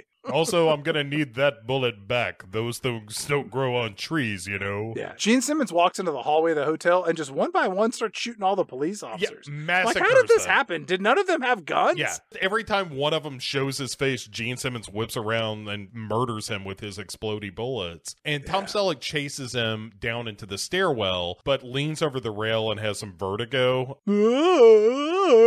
But then he hears him upstairs. He's like, oh, good. It's not all the way down there. It's all the way up there. Oh. Uh-huh. And so he makes it to the roof in time to see Gene Simmons take it off in a helicopter. Uh-huh. And so all he could do basically is just help this woman back down The hooker from steps, yeah, bar. and gets about halfway down like one landing. Is like, all right, here's what I'm gonna do. I'm gonna put your hand over my eyes, and I want you to lead me back to my police officer friends. Down in the hotel suite, Tom Selleck shows up to find that Thompson did not die because she was wearing a bulletproof vest. This is real Back to the Future 2 stuff. But it turns out she has an unexplosive microshell lodged in her arm. hmm And Tom Selleck pulls the EMT to the side and he says, Look, pal, take a look at the screen over there. That's an explosive in her body. And the EMT says, Oh my gosh, you're right. I could blow her whole arm off. I'm glad you were here to notice that. It's my first day on the job. Oh, you saved me some some real embarrassment, sir. Thanks a lot, mister. And then, long story short, Tom Selleck insists that he be the one to extract this explosive from Thompson's arm using a room service steak knife, the hotel room sewing kit, the promotional paper table tent that showcases this month's movies on HBO and Cinemax, and a bottle of Tiny Stoli that they took from the pay to play minibar. Also worth pointing out when he decides if the robot tries to do this, it'll kill her or blow off her arm at least. And so I'm gonna do it. The chief shows up here. Your ass is grass, Tom Selleck, and I'm the lawnmower. I've had it up to you with you. You've done enough for one day. I'm gonna go to a bar that might be gay.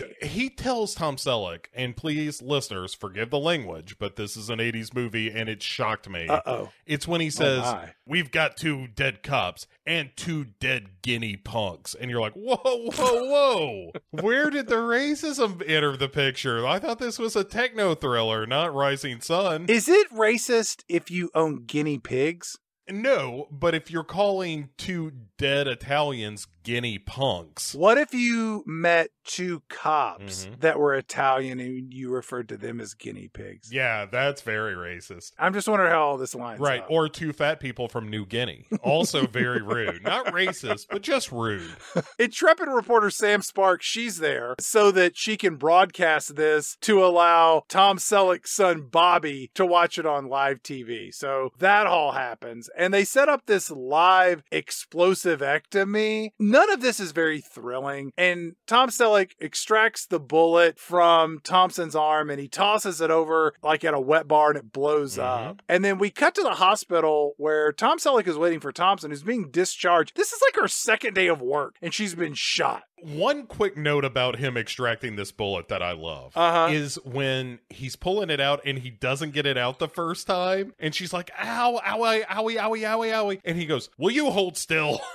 no sympathy whatsoever for this poor girl. They get to the hospital, and when she comes out, though, she's just got a little bandage on. It's not even like a full Uh-huh. bandage. It's like one of those little round band aids that you put when you got like a bad pimple or something. Yeah, it's like a mosquito bite. It's not a whole lot. Yeah. Tom Selleck asks her, Well, how about you and I have dinner tonight? Maybe at my place. I could have Lois the robot heat up a couple of hot dogs. You know, I always take my new partners to dinner, and just because you're a woman doesn't mean I should make any exceptions. And Thompson is like, Partner, that's all you see me as? You're part Nerd? You know what? Forget it, Tom Selleck. I've given you the best 48 hours of my life. I even shot myself in the arm with an explosive bullet so that you could extract it and save my life and feel indebted to me forever. For what? A hot dog dinner with my partner. I'm going home. And by the way, I left a boombox over there with a cassette tape in it with Peter Gabriel's In Your Eyes queued up if you want to show up at my place and hold it above your head and hit play while I lay on the bed weeping with my window open. Here's my address. In her defense, the way that he puts this is sure, when you get to my place, we can go over office procedures and other partner things. Even if you were just platonically his partner, that sounds like the worst dinner you could have. Especially with Tom Selleck, because all you want to hear about is like, what was it like playing basketball for USC? I just want to hear about his mustache grooming. Oh. Like, how do you do that? When did you get the inspiration? Like, I want to be there, much like the moment where Doc Brown gets the idea for the flux capacitor. When Right. did Tom Selleck grow the mustache and then trim it just right where he was like, well, this is it. This is my mustache for the next 50 years?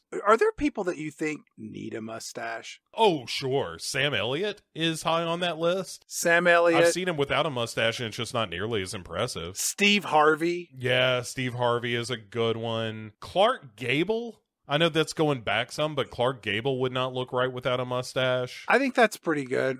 Willie Nelson, he needs facial hair in general. He needs the full beard. You shave that off of him, and that man looks like he was a skeleton when he was in his 30s. You're talking about just like full facial hair. Yeah, he needs the whole shebang. He can't get away with just the mustache because he's got chin problems. Yeah, Willie Nelson needs one. He needs a beard. Yeah. he looks. I think he would look weird without one. Let me talk to my graduate advisor. I'll see if I can do my dissertation on this. Mark Twain is one that I think Oh, of sure. who would look weird without a mustache. There are a handful of people out there that, yes, absolutely. Uh, Kevin Kline, I think, looks weird when he doesn't have a mustache. Yeah, I could see that. Oh, I was going to grow it, but I decided I wouldn't. And then I looked strange, so I grew it back.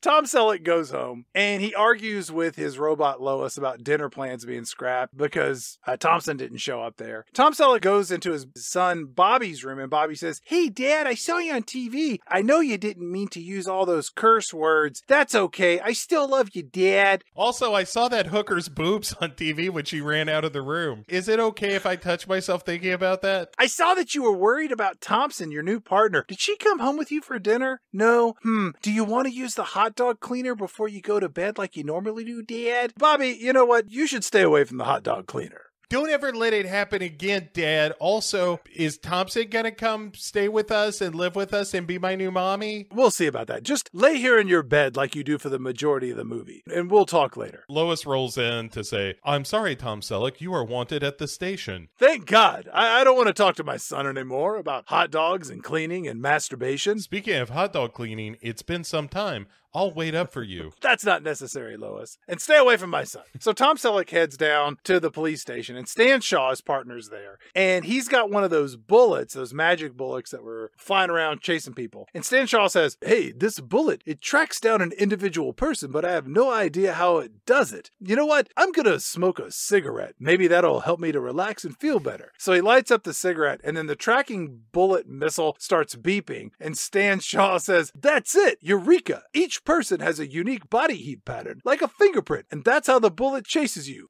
Cigarettes, is there anything you can't do to make the world a better place? And then Stan Shaw states the film's theme when he says, Wow, it's not A bombs we have to worry about anymore. It's microtechnology. Then the chief rolls in and is like, Hey, uh, Tom Selleck, we found out that Gene Simmons' name is Gene Simmons. And Tom Selleck is like, I got to go after this guy because he likes to kill people. That's all he wants to do. And I want him. And I don't know if I mentioned this or not, but we've got his girlfriend, Kirstie Alley. We could use that for leverage. Before you go down these detective roads and whatnot, I want you to talk to one of our psychics. what? Uh-huh. And then the movie cuts to the old woman from Ghostbusters before she's died. And this old lady's like, The man you're looking for is named Gene Simmons. He's very angry.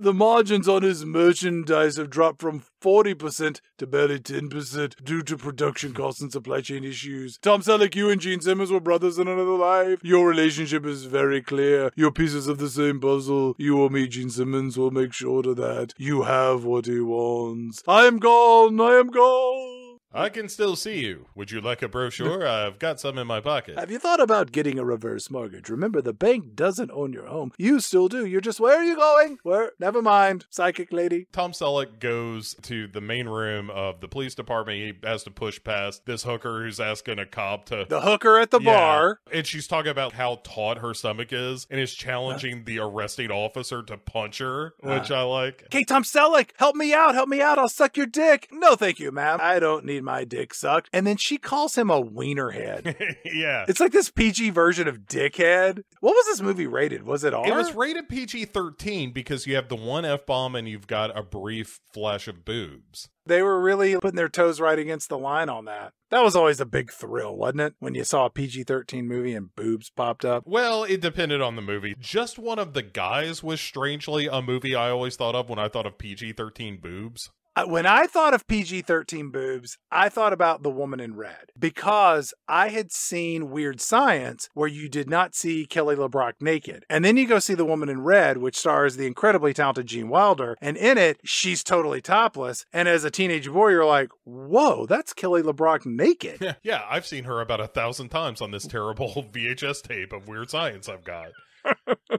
so Thompson is back at the office after her mosquito bite, Is that what you want to see? Kelly LeBrock naked? I'm sorry, I'm getting this mixed up. and Tom Selleck gets a phone call and he's kind of ignoring it. And Shaw is telling Tom Selleck, like, oh, yeah, this chip here came off an assembly line, which means that there are photo templates somewhere to make more of these. And so Tom Selleck is like, well, who has those then? Wait a second, I have a crazy idea that that lady who had a purse full of chips, maybe she knows something. And this cop in the background who's been yelling at Tom Selleck about this phone call, he finally goes, Hey, Tom Selleck, this guy on the phone says you know him. He says his name is Gene Simmons. He's the bad guy in the movie. He also is selling coffee mugs with his face on them that when you put hot liquid in there, his tongue pops out of his mouth. I bought three and I got one free. Seems like a pretty good deal. You want to go in? That is a good deal. Wait a second, you said he was on the phone? Give me that phone. Hello? Hmm? This is Tom Selleck. Yes? What's on your mind? What? You're watching me. You can see what I'm doing? How can you see what I'm doing? You've tapped into the closed circuit TV. What do you want? Kirstie Alley? You know what? You say you'll kill me if I don't turn her over? That sounds harsh. Hello? He hung up. He hung up the phone. One of you police officers, get me a bug, a very, very small bug. And no, I don't mean crickets or some sort of insect like a spider. I mean a bug like you listen with. Oh, you know what I mean. You're a police officer. You can figure it out. They go down to the holding cell where they find Kirstie Alley, and surprises of surprises, Bo, she's smoking. And she says, Look, you let Gene Simmons get away, shithead. He's super smart. He's gonna kill me. I'm stupid. I just realized that numbers and letters are somehow different things. There's no safe place for me. He sees everything. And Tom Selleck says, Well, we're just gonna have to move you, aren't we? And then Thompson goes through this debugging scan from your head to your Mhm. toes and to see if you have any electronic bugs on you. And, and Thompson doesn't. And then Tom Selleck goes through it and he's clean. Then Kirstie Alley goes through this scan and dude, bugs are showing up left and right. And she takes off what her blouse, then her jacket, bra. then her bra, but you don't see her topless. Yeah.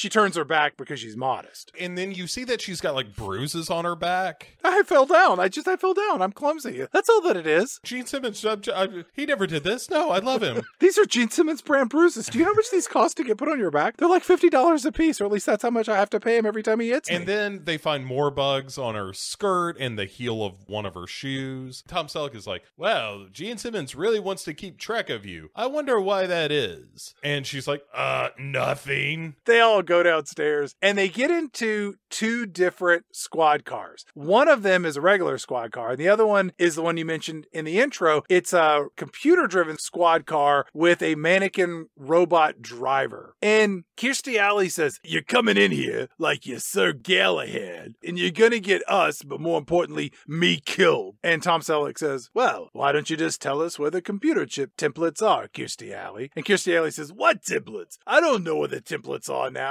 I mean, where the templates are. I mean, what are templates? Uh, let me get back to screaming about how Gene Simmons is going to kill us, but more importantly, me. Let's focus on that. Enter Chad, my favorite character of the movie, our old pal Rudy. They're in the garage of the police department, and Rudy is uh, the garage mechanic or something. Uh-huh. Comes by, checking the cars, like, "Hey there, Tom Selleck, it's your old buddy Rudy here. Uh, hey, I just want to make sure that your car's uh, all ship shape, ready to go." And Tom Selleck is like, "Hey, don't touch these cars. Don't touch a thing." He's like, "Hey, what are you doing?" Doing, Tom Selleck? It's just me, your old pal Rudy. uh, I, I won't touch nothing. And when he walks off, Rudy looks back, and there's just a look of hurt on his face, like I thought we was friends.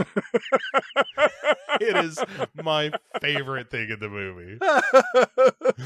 so these two henchmen show up in a separate bad guy car that has this hidden compartment where they can pop open this hatch and then drop little rolling robots onto the freeway to chase after Tom Selleck and Kirstie Alley in their car and Thompson in her car. And this little robot, it zips down the highway and it goes left and right. And then Thompson in the car that she's actually driving, she hits a button and releases this pop up laser beam and she just starts popping off these little robot cars one by one, disregarding the safety of any other person driving down the freeway at night. It's the turret level of a video game where it's like, oh, we're just to stop for a second and just shoot stuff with this laser cannon. Finally, they're just releasing enough of them that they're like, oh, this is never to work. This is to blow the hell out of us. And so Tom Selleck looks at Kirstie Alley is like, well, we're to get out of here. I hope that you're good at climbing, horizontally, that is. What we're going to do is we're going to pull up alongside Thompson's car, and then we're going to open the doors at about 50 to 60 miles an hour, and we'll leap from this computer driven car into a human driven car. What could possibly go wrong?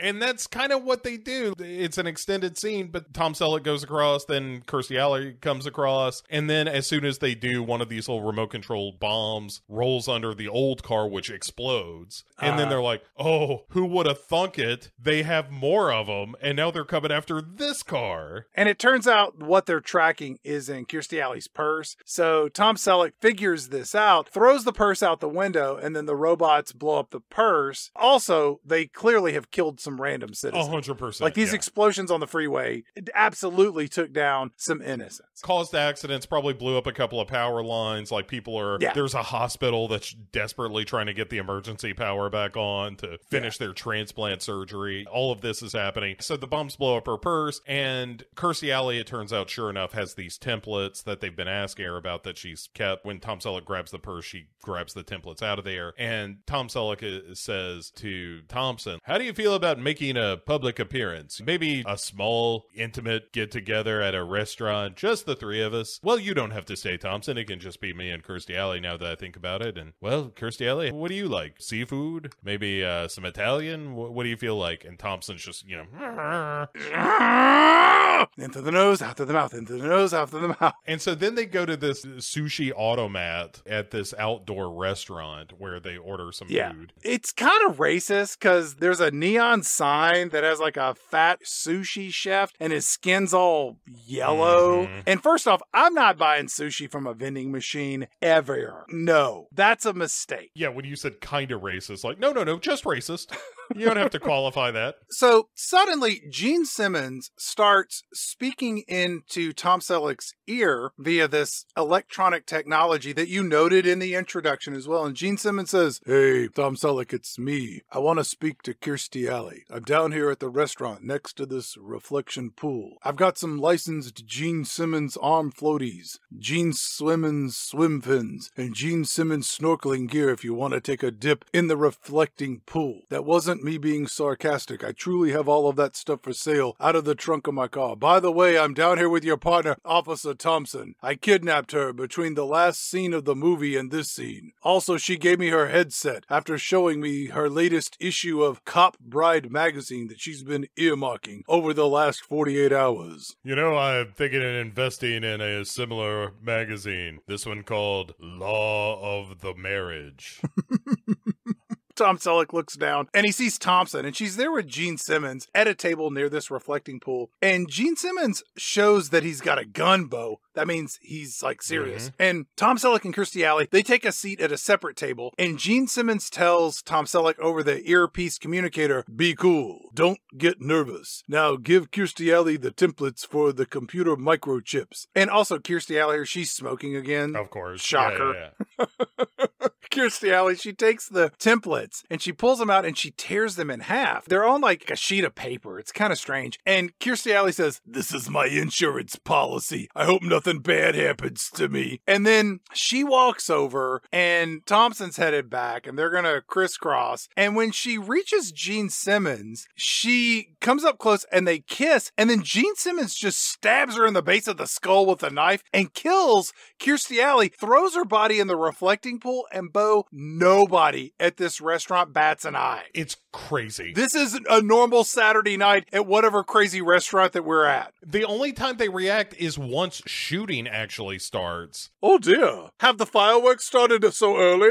Gene Simmons realizes that half the templates are missing, whips out his gun and starts firing, and Tom Selleck fires back, and then there's a whole chase that ensues, and Gene Simmons ultimately gets away. But yeah, the, the fact that he can murder someone and dump her body into this fountain and no one bats an eye feels right right. Like that is another thing that this movie is eerily prescient about is the basic ineffectual nature of the police. Gene Simmons runs off. After firing a couple of his little smart bullets that don't land, he reaches the edge of this small waterfall and Gene Simmons' stunt double leaps off into the air and splashes into the reflecting pool below. And then Tom Selleck and Thompson, they chase after Gene Simmons, but Gene Simmons gets away. So we come back to police headquarters where the chief just screams at Tom Selleck, What are you gonna do now, hotshot? Accidentally find yourself in a leather bar filled with men? That's the oldest trick in the book, but your mustache would be welcome. You know, that's what I've heard. Don't even look at me that way. You're on thin ice. And then Tom Selleck says, Well, Chief, I'm not going to do anything because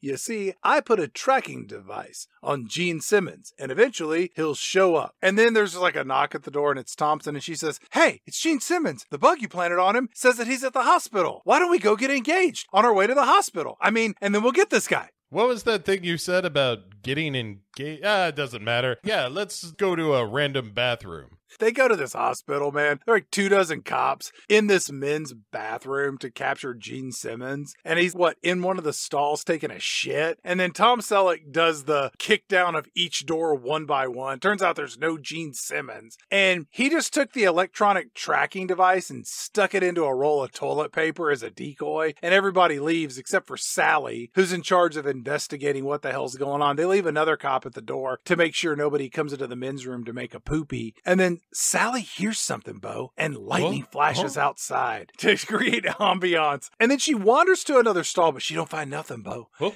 And then one of Gene Simmons' spider robots crawls out from under a janitor's cart, climbs up the wall onto the ceiling, drops down onto Sally, and then injects her with acid. Yeah. And then it blows up. And when it does that, it kills not only her, but that other cop that was there to keep people out from coming in to make poopies. I like this because when it jumps on her, it's sort of like in movies where somebody throws a cat at somebody like it's attacking them, but you but it just looks like oh, we're just kind of underhand tossing this at them and they have to catch it. when you watch it, you can see the strings on the robot where they lowered it down. It's pretty Yeah, it, uh, I like that stuff. I like goofy.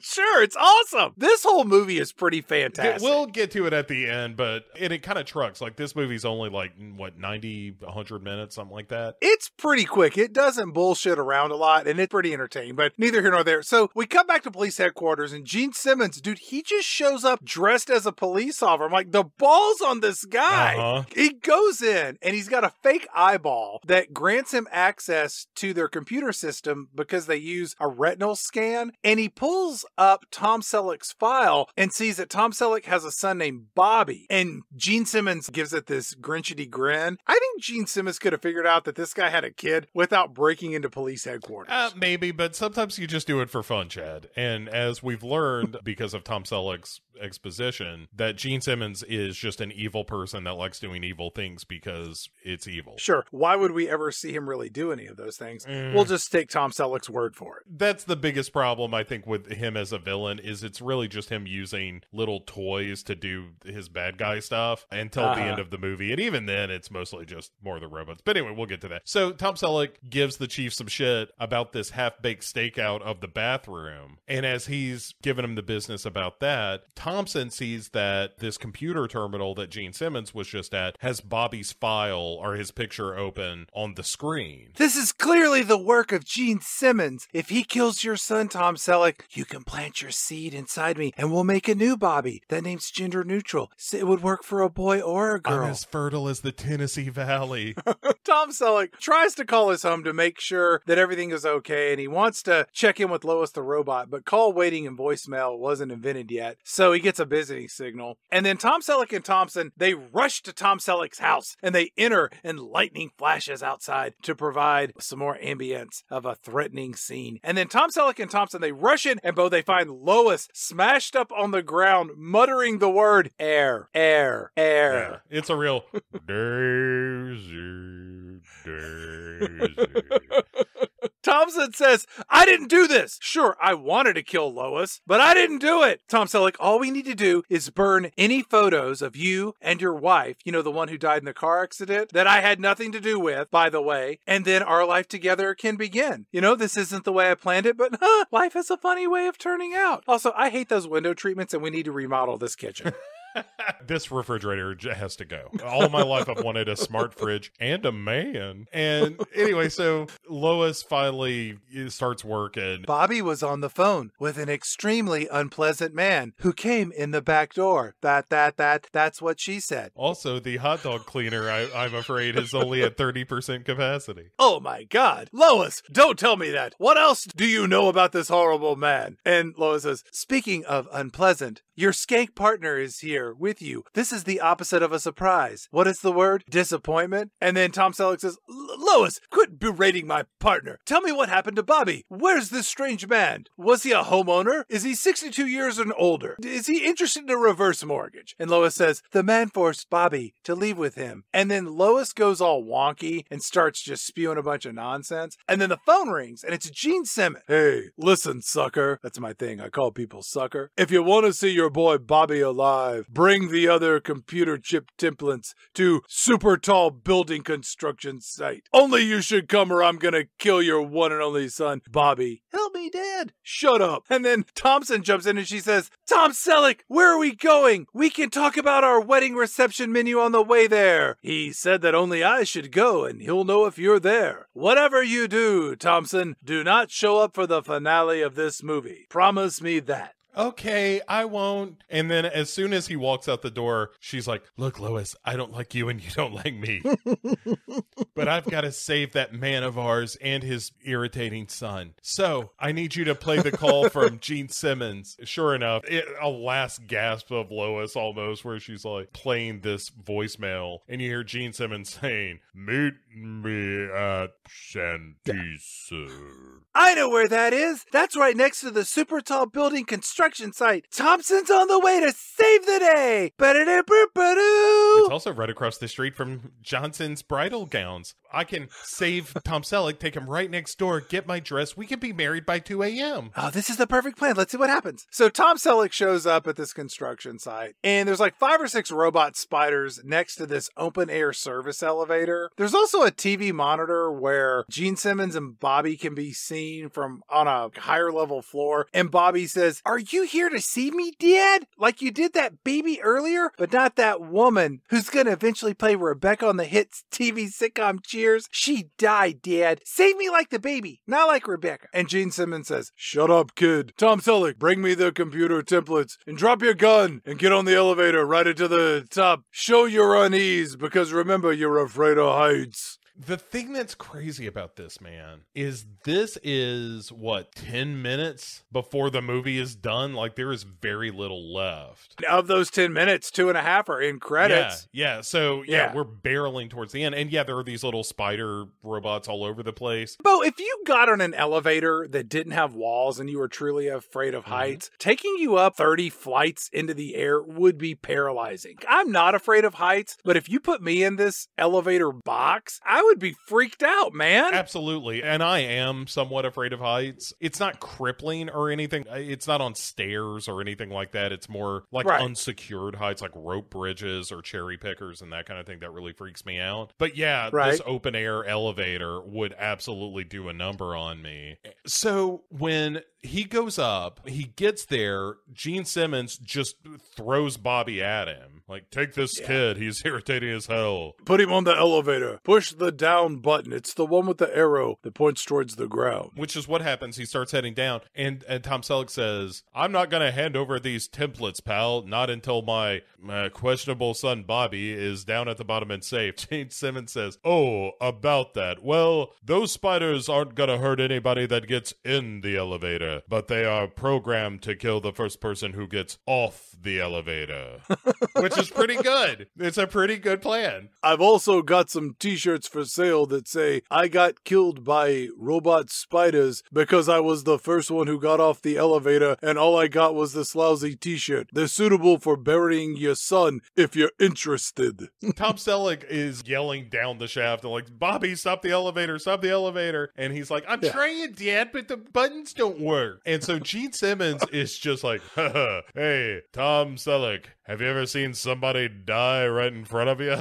And as Bobby reaches the last few floors, Thompson shows up, runs towards the elevator, screaming, Don't worry, Bobby! Mama's here to save you! You, your dad, and me, your new and better mom, we're gonna be happy again in a home without Lois or any photos of anybody else that you used to call mom that used to hang on the walls. Did your dad tell you we're getting new window treatments and we're remodeling the kitchen and the bathrooms? Well, we are, son! And then she just jumps onto the elevator, helps Bobby climb up onto the top of the elevator away from the robot spiders, and they just climb up one floor and they then hit the button on the elevator. This is all exposes a real flaw in Gene Simmons' plan that anybody could have just hopped off the elevator onto a floor that's not the ground floor to exploit the acid spider robot treatment. well, he wasn't looking for this lady to show up to sort of hijack this kid at the last minute. All In right. fairness to him, it's the cost of hubris, right? Pride goeth before a fall. Gene Simmons fires a few bullets at Tom Selleck and they miss. And I was like, why aren't you using your magic heat seeking bullets? That seems to be a real oversight on the part of Gene Simmons, evil mastermind extraordinaire. I don't know if it's that like he doesn't have the right signature to target him or something. It's just lazy writing, Uh, Bo. Whatever. Yeah. So Tom Selleck dodges all these bullets. Hey, ho. Did you like the part where he runs over and turns that big wheel, either opening or closing the main Dude, drain? He's always wanted to do that. The exact notes. yes, absolutely. How do you not look at that and not think I'm either opening or closing the- the main drain? But it obscures everything in Steam, which makes basically gives him some cover. And Uh-huh. so Tom Selleck gets in this elevator and takes it all the way to the top floor to kind of Yeah. regroup or whatever, I guess. So he's looking over the side and freaking out some more because he's even higher now in this open air Yeah. elevator. And this scene, I don't think it's perfect, but I really like the fact that there's no music, there's very little sound. And it's just Tom Selleck in this elevator as these robot spiders are crawling all over it, and you can just hear their mecha- metallic clicking. Eh, counterpoint, this scene is terrible. Because- because Tom Selleck hits the down button. His pants are full of shit. He's got to be uh-huh. terrified. But the elevator's busted, and he sees on this control panel display that there is a reset button that some sadistic engineer placed on the bottom of the elevator. Mm-hmm. Mhm. This would be like putting the combination dial for a safe inside the door of the safe. This makes no sense at all. And as these robots come up, this is the most implausible thing in the entire movie because we've seen that Tom Selleck is terrified of heights, but here he just climbs onto the outside of this elevator that is attached to the outside of this construction site. He's like 50 stories up in the air and he pulls off this ninja warrior level of physical feats feats that require upper body strength of which Oh. I can only dream. I would have fallen immediately. I would have been dead in two seconds. I'm like, okay, legs are off, waist is off. I'm like, ah! Yeah, right. yeah. As soon as more of me was over this side than not, I was yeah, I would like be done. 51%. Right. That's like dead. fifty point three percent, and I'm "Ah." But he does. He climbs up. This is a man who cannot function at heights. He's dangling from this thing like Donkey Kong Jr., smacking this button to get the elevator to lower him back down to the safety of planet Earth. the elevator's going down. He pulls himself back up into the elevator after skirting all these robot spiders and knocking them off and whatnot. And so when he gets there, Gene Simmons is there grinning, waiting for him. Stands over him, like climbs on this elevator, stands over him. Well, it's time to die, Tom Selleck. And before you do, let me offer you some Gene Simmons brand headstones.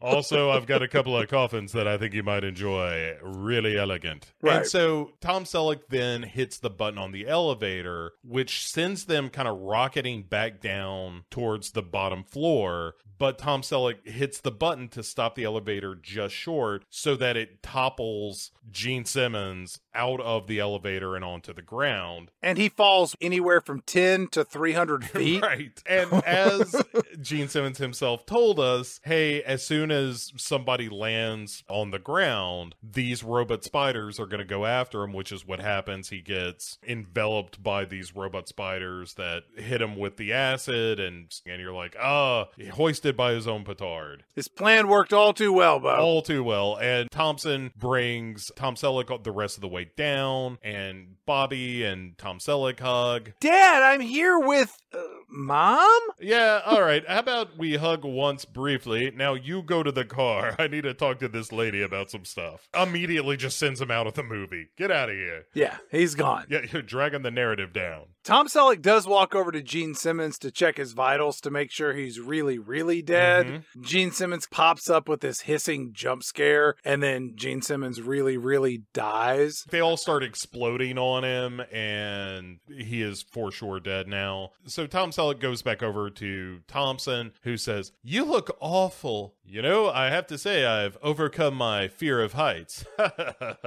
and.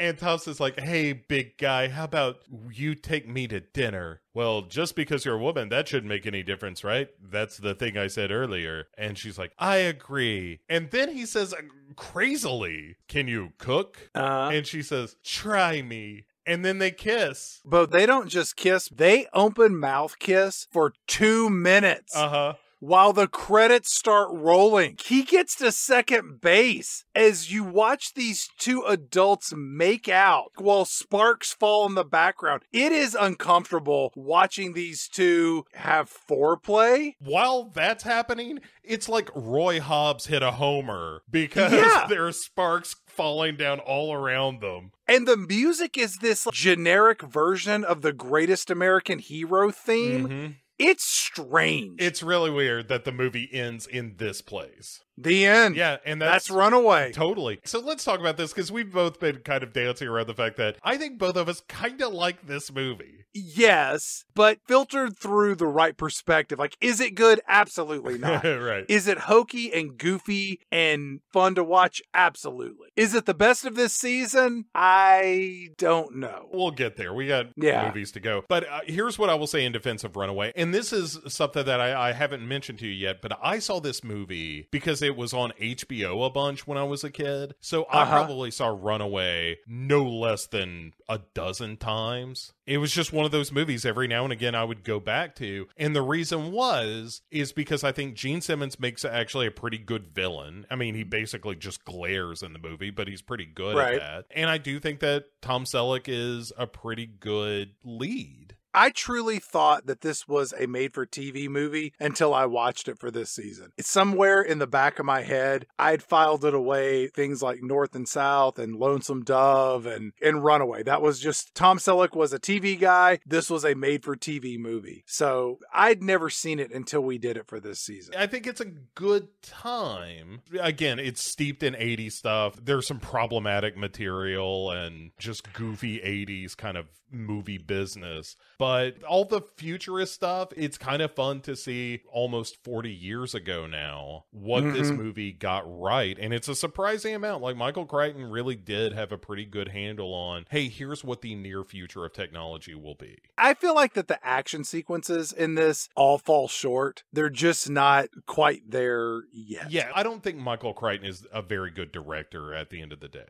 I agree with that. He's not terrible, but it's very workmanlike. And if there had just been a touch of flair to this movie, of directorial flair, and a little less just kind of straightforward goofiness, You get some better cinematographers and directors of photography. They could have bolstered this and made it a little bit better than it was. But it's still fun. I, I don't know if it's the best thing we're going to watch this season, but it's a sight better than at least a couple of the movies we've talked about so far. So, without a doubt. yeah. And Bo, I gotta say, you cannot do a season of Pick Six movies that's focused on Michael Crichton and not discuss the topic of dinosaurs eating people. So, Bo, I present for the finale of this season, we are going to be taking on a movie that was inspired by a book, that was inspired by a movie, that was inspired by a book, that was inspired by a screenplay. What does all of that mean? It means we're going to be talking about The Lost World colon Jurassic Park, a movie that was inspired by the book The Lost World, which was inspired by the success of the movie Jurassic Park, which was inspired by the book Jurassic Park, which it turns out, Bo, was inspired by a screenplay that Michael Crichton wrote. That's a real Ouroboros that we've got going on here, but I have seen this movie a couple of times and, and in fact recently watched it in preparation for this. And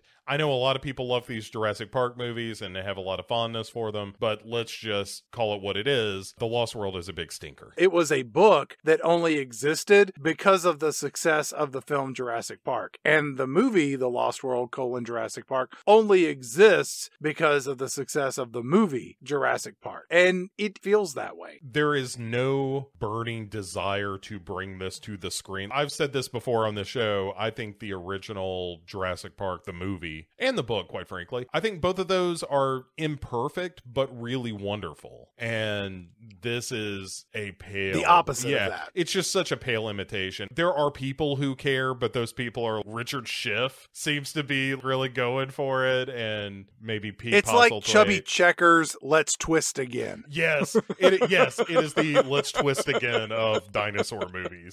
So, without waking up your grandparents or your great grandparents or great grandparents to understand that reference, we're just going to call, call it an episode. As always, if you like Pick Six movies, please like, rate, review, recommend us to a friend. You can email us at pick6movies at gmail.com. You can find us on social media here and there. Bertram has three or four weeks left, I think, as an intern. So, we will see what he has to offer in the coming weeks. I'm sure between he and all of the other dope smoking fiends on our staff, they will uh, continue to deliver us some of the most uh, lackluster work that we've seen Mhm. in months. So, Bo, any final thoughts that you have on the film Runaway for this season? I'm rebuilding Lois. Hot dog cleaner first.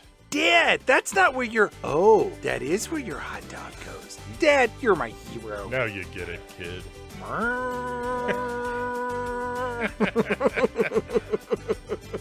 Come back and see us in two weeks' times, everybody, as we will be presenting you with the Lost World colon the Lost the Lost World the Lost World The Lost World in my colon. the Lost World colon Jurassic Park. We'll see you in two weeks' time, everybody. Thanks.